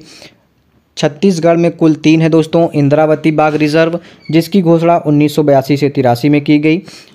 अचान कुम अचान कमार अचान कमार बाघ रिजर्व छत्तीसगढ़ का इसकी घोषणा किया गया था 2008 से 9 में उदंती सीता नदी बाघ रिजर्व की घोषणा 2008-9 में की गई थी झारखंड झारखंड में एक है पलामू बेतला बाघ रिजर्व इसकी घोषणा उन्नीस सौ तिहत्तर चौहत्तर में की गई थी मिजोरम में एक है डंपा डंपा बाघ रिजर्व इसकी घोषणा उन्नीस से पंचानबे में की गई थी राजस्थान में कुल नौ हैं सॉरी राजस्थान में कुल तीन हैं रणथम्बौर बाघ रिजर्व इसकी घोषणा उन्नीस सौ 1973 से चौहत्तर में की गई थी सरिस्का बाग रिजर्व की घोषणा 1978 से उन्यासी में की गई मुकुंद्रा पहाड़ी हिल्स की घोषणा 2013 में की गई बांदीपुर टाइगर रिजर्व की घोषणा तिहत्तर से चौहत्तर में की गई भद्रा टाइगर रिजर्व की घोषणा की गई थी उन्नीस से निन्यानबे में नागर होल की घोषणा की गई थी नागर होल टाइगर रिजर्व की घोषणा निन्यानबे से 2000 में की गई दांदेली अंशी की घोषणा की गई थी 2007 में बिलीगिरी रंगनाथ मंदिर बाघ रिजर्व की घोषणा 2011-12 में की गई पेरियार की घोषणा की गई थी उन्नीस से उन्यासी में पारम्बिकुलम बाघ रिजर्व की घोषणा 2008-9 में की गई कान्हा टाइगर रिजर्व की घोषणा उन्नीस सौ तिहत्तर में की गई मध्य प्रदेश का पेंच टाइगर रिजर्व की घोषणा उन्नीस सौ बानबे तिरानबे में की गई बांधवगढ़ की घोषणा की गई थी उन्नीस सौ तिरानबे से चौरानबे में पन्ना पन्ना टाइगर रिजर्व की घोषणा उन्नीस सौ चौरानबे पंचानबे के दौरान की गई थी सतपुड़ा टाइगर रिजर्व की घोषणा उन्नीस सौ निन्यानबे से 2000 में की गई थी संजय डुबरी टाइगर रिजर्व की घोषणा 2008 से 9 में की गई थी मेलघाट टाइगर रिजर्व की घोषणा उन्नीस से चौहत्तर में की गई थी पेंच पेंच टाइगर रिजर्व की घोषणा उन्नीस से तिरानबे में की गई थी महाराष्ट्र के तम तडोब अंधेरी तडोब अंधेरी बाघ रिजर्व की घोषणा उन्नीस से चौरानबे में की गई सहाद्री सहाद्री की घोषणा की गई थी उन 2009 से 10 में नवे गांव नागजीरा नवे गांव नागजीरा टाइगर रिजर्व की घोषणा 2013 में की गई बोर टाइगर रिजर्व की घोषणा 2014 में की गई थी उत्तर प्रदेश उत्तर प्रदेश के अंतर्गत तीन है दोस्तों दुधवा बाघ रिजर्व की घोषणा उन्नीस से अट्ठासी में की गई आज अमानगढ़ बाघ रिजर्व की घोषणा की गई थी 2012 में पीलीभीत टाइगर रिजर्व की घोषणा 2012 में की गई थी उत्तराखंड उत्तराखंड के अंदर दो हैं दोस्तों जिम कार्बेट बाघ रिजर्व इसकी घोषणा 1973 से चौहत्तर में की गई राजा जी टाइगर रिजर्व की घोषणा 2015 में की गई पश्चिम बंगाल के अंदर दो हैं सुंदरवन सुंदरवन बाघ रिजर्व की घोषणा 1973 से चौहत्तर में की गई बुक्सा टाइगर रिजर्व की घोषणा 1982 से तिरासी में की गई तेलंगाना का कवल बाघ रिजर्व इसकी घोषणा 2012 से 13 में की गई ओडिशा के अंदर दो हैं दोस्तों सिली सिमलीपाल सिमिलीपाल बाघ रिजर्व इसकी घोषणा उन्नीस से चौहत्तर में की गई सतकोसिया टाइगर रिजर्व की घोषणा 2008 से 9 में की गई कालकंड मुंदथुरई बाघ रिजर्व की घोषणा 1988 से नवासी में की गई तमिलनाडु के अंदर पाँच हैं दोस्तों अन्नामलाई अन्नामलाई टाइगर रिजर्व की घोषणा 2007 में की गई मधुमलाई टाइगर रिजर्व की घोषणा 2007 में की गई सत्यमंगलम टाइगर रिजर्व की घोषणा सत्यमंगलम टाइगर रिजर्व की घोषणा 2013 में की गई Srivilliputhur Megamalai tiger reserve की घोषणा 2021 में की गई उन्नीस में नौ टाइगर रिजर्व थे श्री सलेम का विस्तार तेलंगाना राज्य में भी है भारत के प्रमुख भौगोलिक उपनाम चलिए देखते हैं ईश्वर का निवास स्थान प्रयाग को बोलते हैं पांच नदियों की भूमि पंजाब को बोलते हैं सात टापुओं का नगर मुंबई को बोलते हैं बुनकरों का शहर पानीपत को कहते हैं अंतरिक्ष का शहर बेंगलुरु को कहते हैं डायमंड हार्बर कोलकाता को कहा जाता है इलेक्ट्रॉनिक नगर बेंगलुरु को कहा जाता है भारत का प्रवेश द्वार मुंबई को कहा जाता है पूर्व का वेनिस पूर्व का वेनिस कोची को कहते हैं भारत का पिट्सबर्ग जमशेदपुर को कहते हैं भारत का मैनचेस्टर अहमदाबाद को कहा जाता है मसालों का बगीचा केरल को कहा जाता है गुलाबी नगर जयपुर को कहा जाता है क्वीन ऑफ डेकन पुणे को कहते हैं भारत का हॉलीवुड मुंबई को कहते हैं झीलों का नगर श्रीनगर को कहा जाता है फलोद्यानों फलोद्यानों का स्वर्ग सिक्किम को कहा जाता है पहाड़ी की मलिका नेतरहाट को कहते हैं भारत का डेट्राइट पीथमपुर को कहते हैं पूर्व का पेरिस जयपुर को कहा जाता है साल्ट सिटी गुजरात को कहा जाता है सोया प्रदेश मध्य प्रदेश को कहते हैं मलय का देश कर्नाटक को कहा जाता है सर्वाधिक प्रदूषित नदी साबरमती है दक्षिण भारत की गंगा कावेरी को कहते हैं काली नदी शारदा को कहा जाता है ब्लू माउंटेन नीलगिरी पहाड़ियाँ को कहते हैं एशिया की अंडों की टोकरी आंध्र प्रदेश को कहा जाता है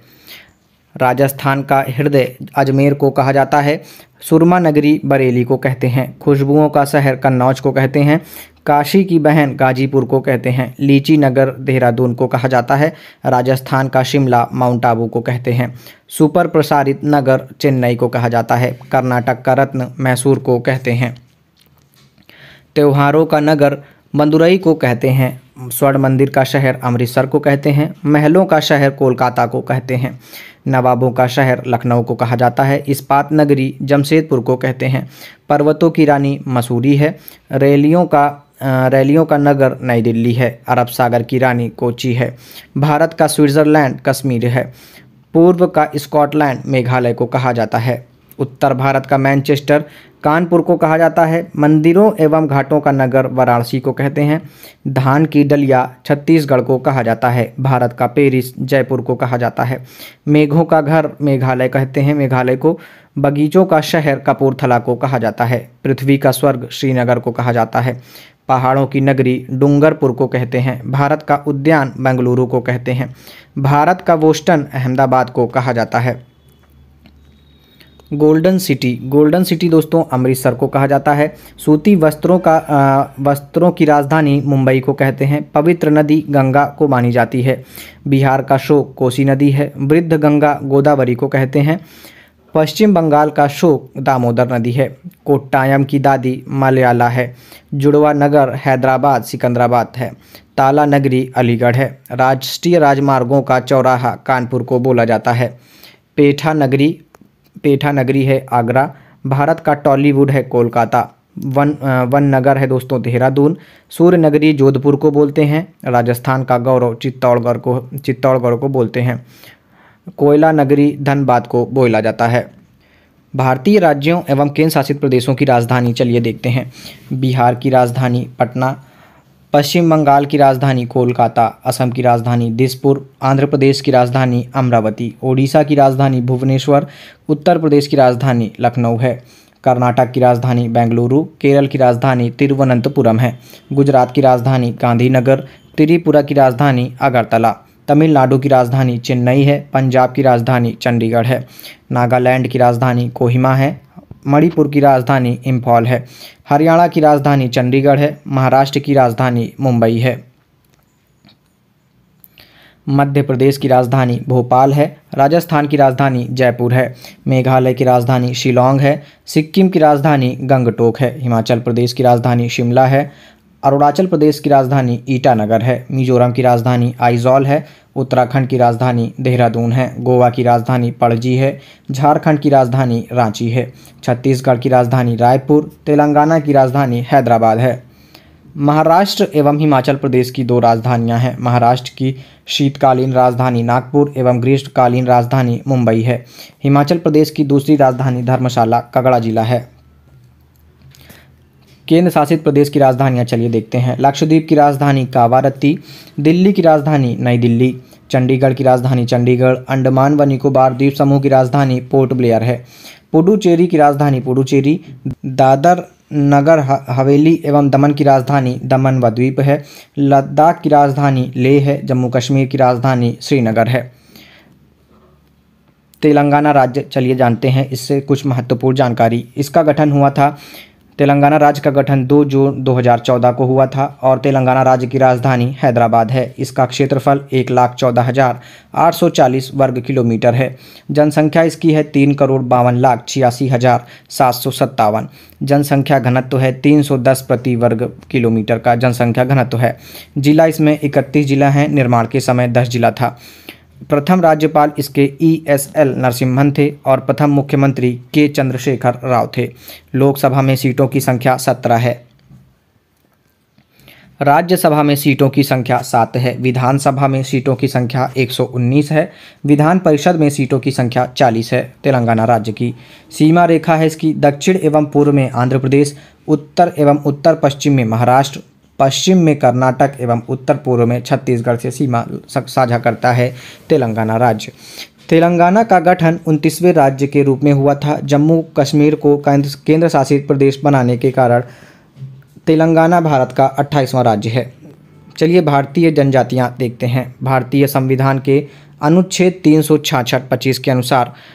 जनजाति से तात्पर्य उन जनजातीय समूह समुदायों के अंशों या समूहों से है जो संविधान के अनुच्छेद 342 के तहत अनुसूचित जनजातियों के रूप में माने गए हैं जनजातीय विकास विभाग भारत सरकार के अनुसार भारत में जनजातीय समुदायों की संख्या 550 है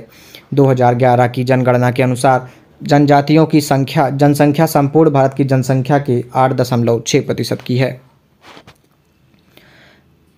जनसंख्या की दृष्टि से मध्य प्रदेश एक करोड़ तिरपन लाख सोलह हजार सात सौ चौरासी सबसे अधिक जनजातीय जनसंख्या वाला राज्य है वहीं मिजोरम चौरानवे दशमलव चार प्रतिशतता की दृष्टि से बड़ा जनजातीय जनसंख्या वाला राज्य है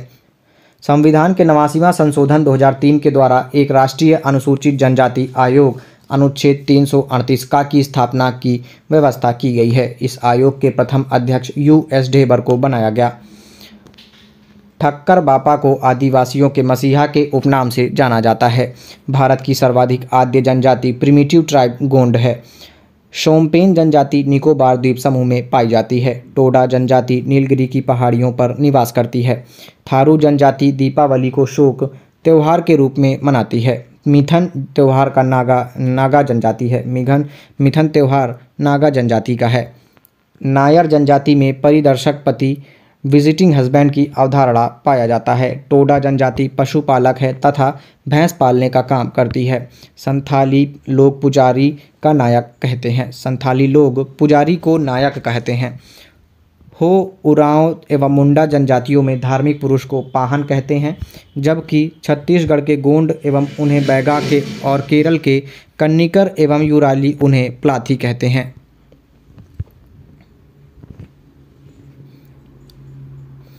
राज्य केंद्र शासित प्रदेश और वहाँ पाए जाने वाले जनजाति चलिए देखते हैं गुजरात राज्य में भील बांजरा बंजारा कोली पटेलिया डाफर टोड़िया आदि जनजाति पाई जाती है हिमाचल प्रदेश में गड्डी अथवा गुड्डी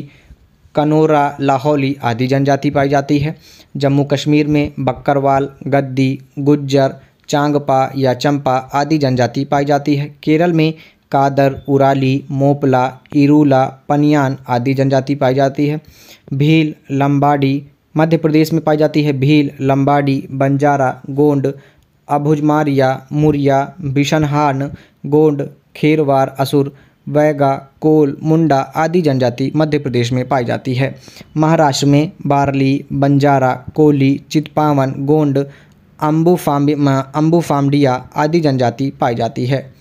मणिपुर में कुकी मैटी या मैठी नागा आंगामी आदि जनजाति मणिपुर में पाई जाती है मेघालय में गारो खासी जयंतिया मिकिर आदि जन जनजातियाँ पाई जाती हैं मिजोरम में लाखर पावो मीज़ो चकमा लुसाई कुकी आदि जनजाति पाई जाती है मिजोरम में नागालैंड में नागा नबुई नागा नागा नबुई नागा अंगामी मिकिर आदि जनजाति नागालैंड में पाई जाती है उड़ीसा में जुआंग खरिया भुइया संथाल हो कोल ओराव चेंचू गोंड सोंड डोंगरिया कोंद बोंडो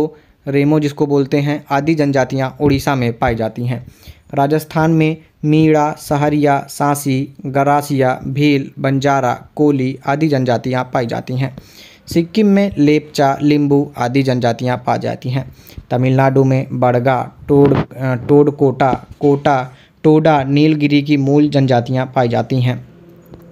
त्रिपुरा में रियांग अथवा त्रिपुरी आदि जनजाति पाई जाती है उत्तराखंड में थारू कोय मारा नीति भोट अथवा भेटिया भोटिया गढ़वाल और कुमायूं क्षेत्र में खास जौनसर बाबर क्षेत्र में आदि में जन आदि में जनजातियाँ पाई जाती हैं पश्चिम बंगाल में लोघा भूमिज संथाल लेपचा लिंबू दार्जिलिंग क्षेत्र में आदि जनजातियाँ पाई जाती हैं असम में राभा दिमारा कोछारी वोडो अबोर आवो मिकिर कार्बो नागा लुसाई आदि जनजातियाँ पाई जाती हैं आंध्र प्रदेश में चेंचूस कौड़स सवारा गदवा गोंड आदि जनजातियाँ पाई जाती हैं अरुणाचल प्रदेश में मोमपा डबला सुलुंग मिशमी मिनियोंग मिरिंगलोंग अपतनी मेजी आदि जनजातियाँ पाई जाती हैं झारखंड में संथाल मुंडा हो ओराव बिरहोर कोरबा असुर भूया गोंड सौरिया भूमिज आदि जनजातियाँ पाई जाती हैं लक्षद्वीप में वासी जनजाति पाई जाती है अंडमान निकोबार द्वीप समूह में औंजे जारवा जरेना सेंटलीज अंडमानी और निकोबारी जनजातियाँ पाई जाती हैं जनजातियों की शैक्षणिक संस्था को युवा ग्रह कहा जाता है नाच गाकर अपनी जीविका कमाने वाली दक्षिण राजस्थान की जनजाति गरासिया है चांगपा या चंपा समुदाय मुख्य रूप से लद्दाख जम्मू कश्मीर में पाया जाने वाला एक अर्ध खाना बदोश तिब्बती लोगों का समुदाय है भारत सरकार ने इन्हें अनुसूचित जनजाति के रूप में सूचीबद्ध किया है ये घुमंतु लोग जीवन यापन के लिए अच्छे किस्म का ऊन देने वाले पश्मीना बकरे या बकरियों को पालते हैं जीवन की उत्पत्ति आदि सागर में आर्कियोजोइक एरा में हुई भारत आने वाला सबसे पहला प्रजाति समूह निग्रो था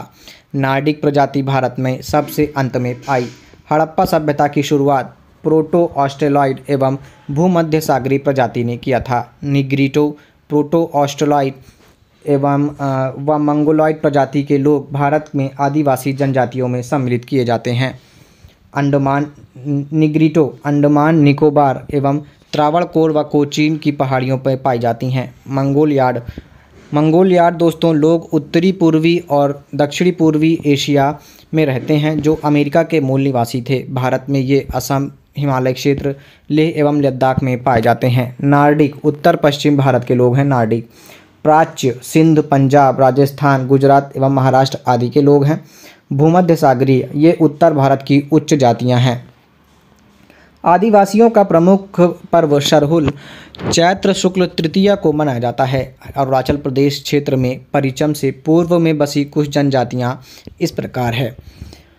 पश्चिम से पूर्व में बसी कुछ जनजातियाँ इस प्रकार हैं अरुणाचल प्रदेश क्षेत्र में मोनपा डफला अबोर मोनपा डफला अबोर मिशमी निसी और नागा है नागालैंड की कोनयाक आदिवासी दुनिया में हैंड हेड हंटर के नाम से जाने जाते हैं बताया जाता है कि वे अपने दुश्मन का